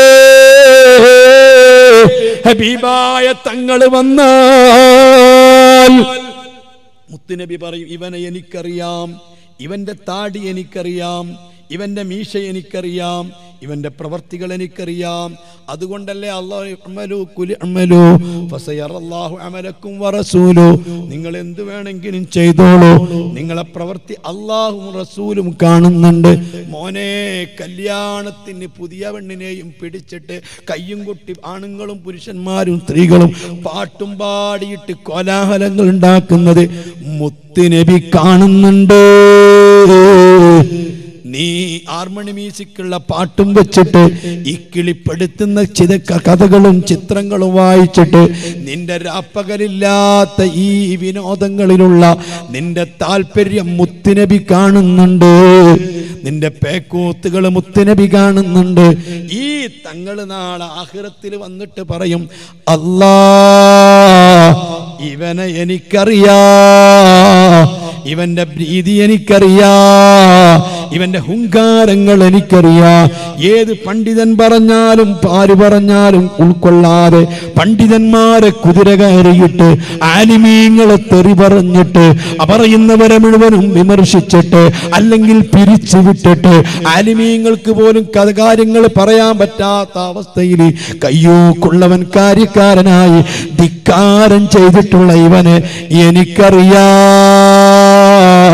തങ്ങൾ സാക്ഷി പറഞ്ഞാൽ പിന്നെ അപ്പീലില്ല. നരകം നേരിട്ട് വന്നിട്ട് അതിന്റെ തുമ്പിക്കൈ കൊണ്ട് മുത്തുറസൂൽ പറഞ്ഞത് ഉനക്ക് എന്നാണ്. ഈ നരകത്തിന് വലിയ തുമ്പിക്കൈയുണ്ട്. ജെ സി ബിയുടെ തുമ്പിക്കൈ പോലെ ഈ കാണുന്ന ആളുകളെ മുഴുവനും കോരിയെടുത്തിട്ട്.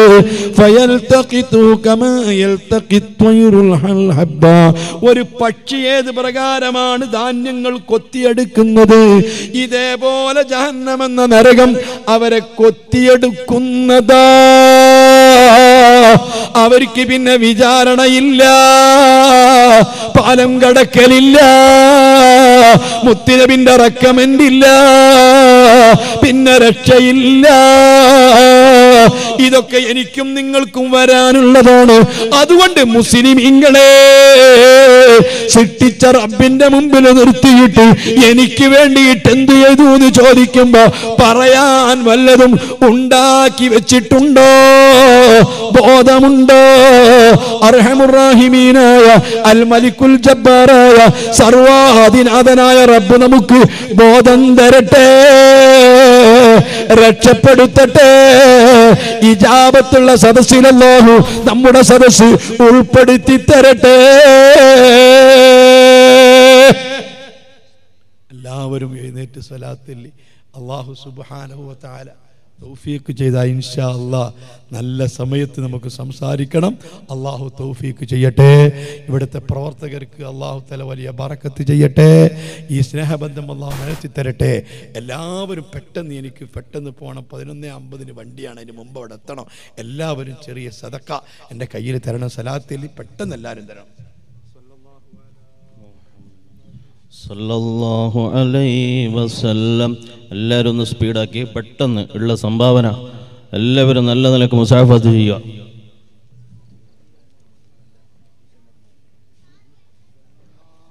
ഇൻഷാല്ല പെട്ടെന്ന് എല്ലാവരും മുസാഫത്ത് ചെയ്യുക. ഉസ്താദിന് വിലപ്പെട്ട സമയമാണ്. ഇൻഷാല്ല സമാപനത്തിൽ ഉസ്താദ് നല്ല ദുവാ ചെയ്യും. എല്ലാവരും പെട്ടെന്ന് ഒന്ന് സ്പീഡാക്കുക. അള്ളാഹു എല്ലാവർക്കും ബർക്കത്ത് ചെയ്യുമാറാവട്ടെ.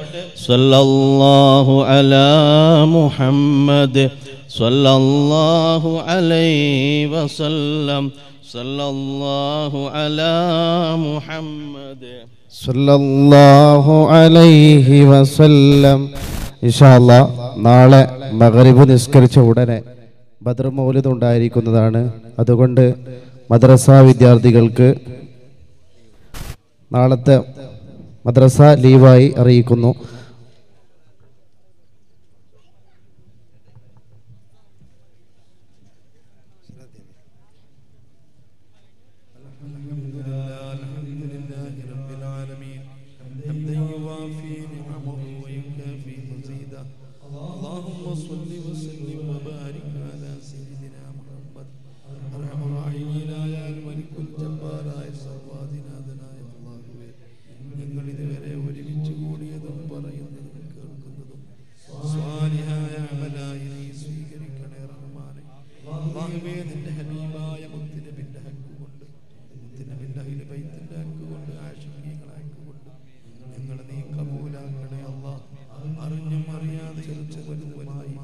ഈ നിമിഷം വരെ കഴിഞ്ഞു പോകുന്ന പാപങ്ങൾ നീ ഞങ്ങൾക്ക് പുറത്തു തരണേ നീ ഞങ്ങൾക്ക് പുറത്തു തരണേ ഞങ്ങളെ മാതാപിതാക്കൾ മഷായിഖുമാര് ഉസ്താദുമാര് ബന്ധുമിത്രാദികൾ സ്നേഹിതന്മാര് സുഹൃത്തുക്കൾ ബന്ധുക്കൾ പഠിക്കുമ്പോഴും പഠിപ്പിക്കുമ്പോഴും ഞങ്ങൾക്ക് ഭക്ഷണം തന്നവർ വസ്ത്രം തന്നവർ പലവിധേന ഞങ്ങളെ സഹായിച്ചവർ ഞങ്ങളെ ഹാദിമീങ്ങൾ എല്ലാവർക്കും നീ അൽമും ഈമാനും ഹിദായത്തും ഏറ്റിത്തരണേ അല്ലാ.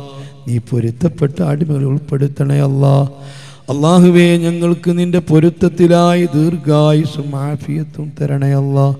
ഞങ്ങളെ ഞമത്തുകൾ നിലനിർത്തി തരണേ അല്ല. ഞങ്ങൾ ചെയ്തെന്ന തെറ്റുകൾ കൊണ്ട് ഞങ്ങളെ നീ ഹലാക്കാക്കല്ലേ അല്ല.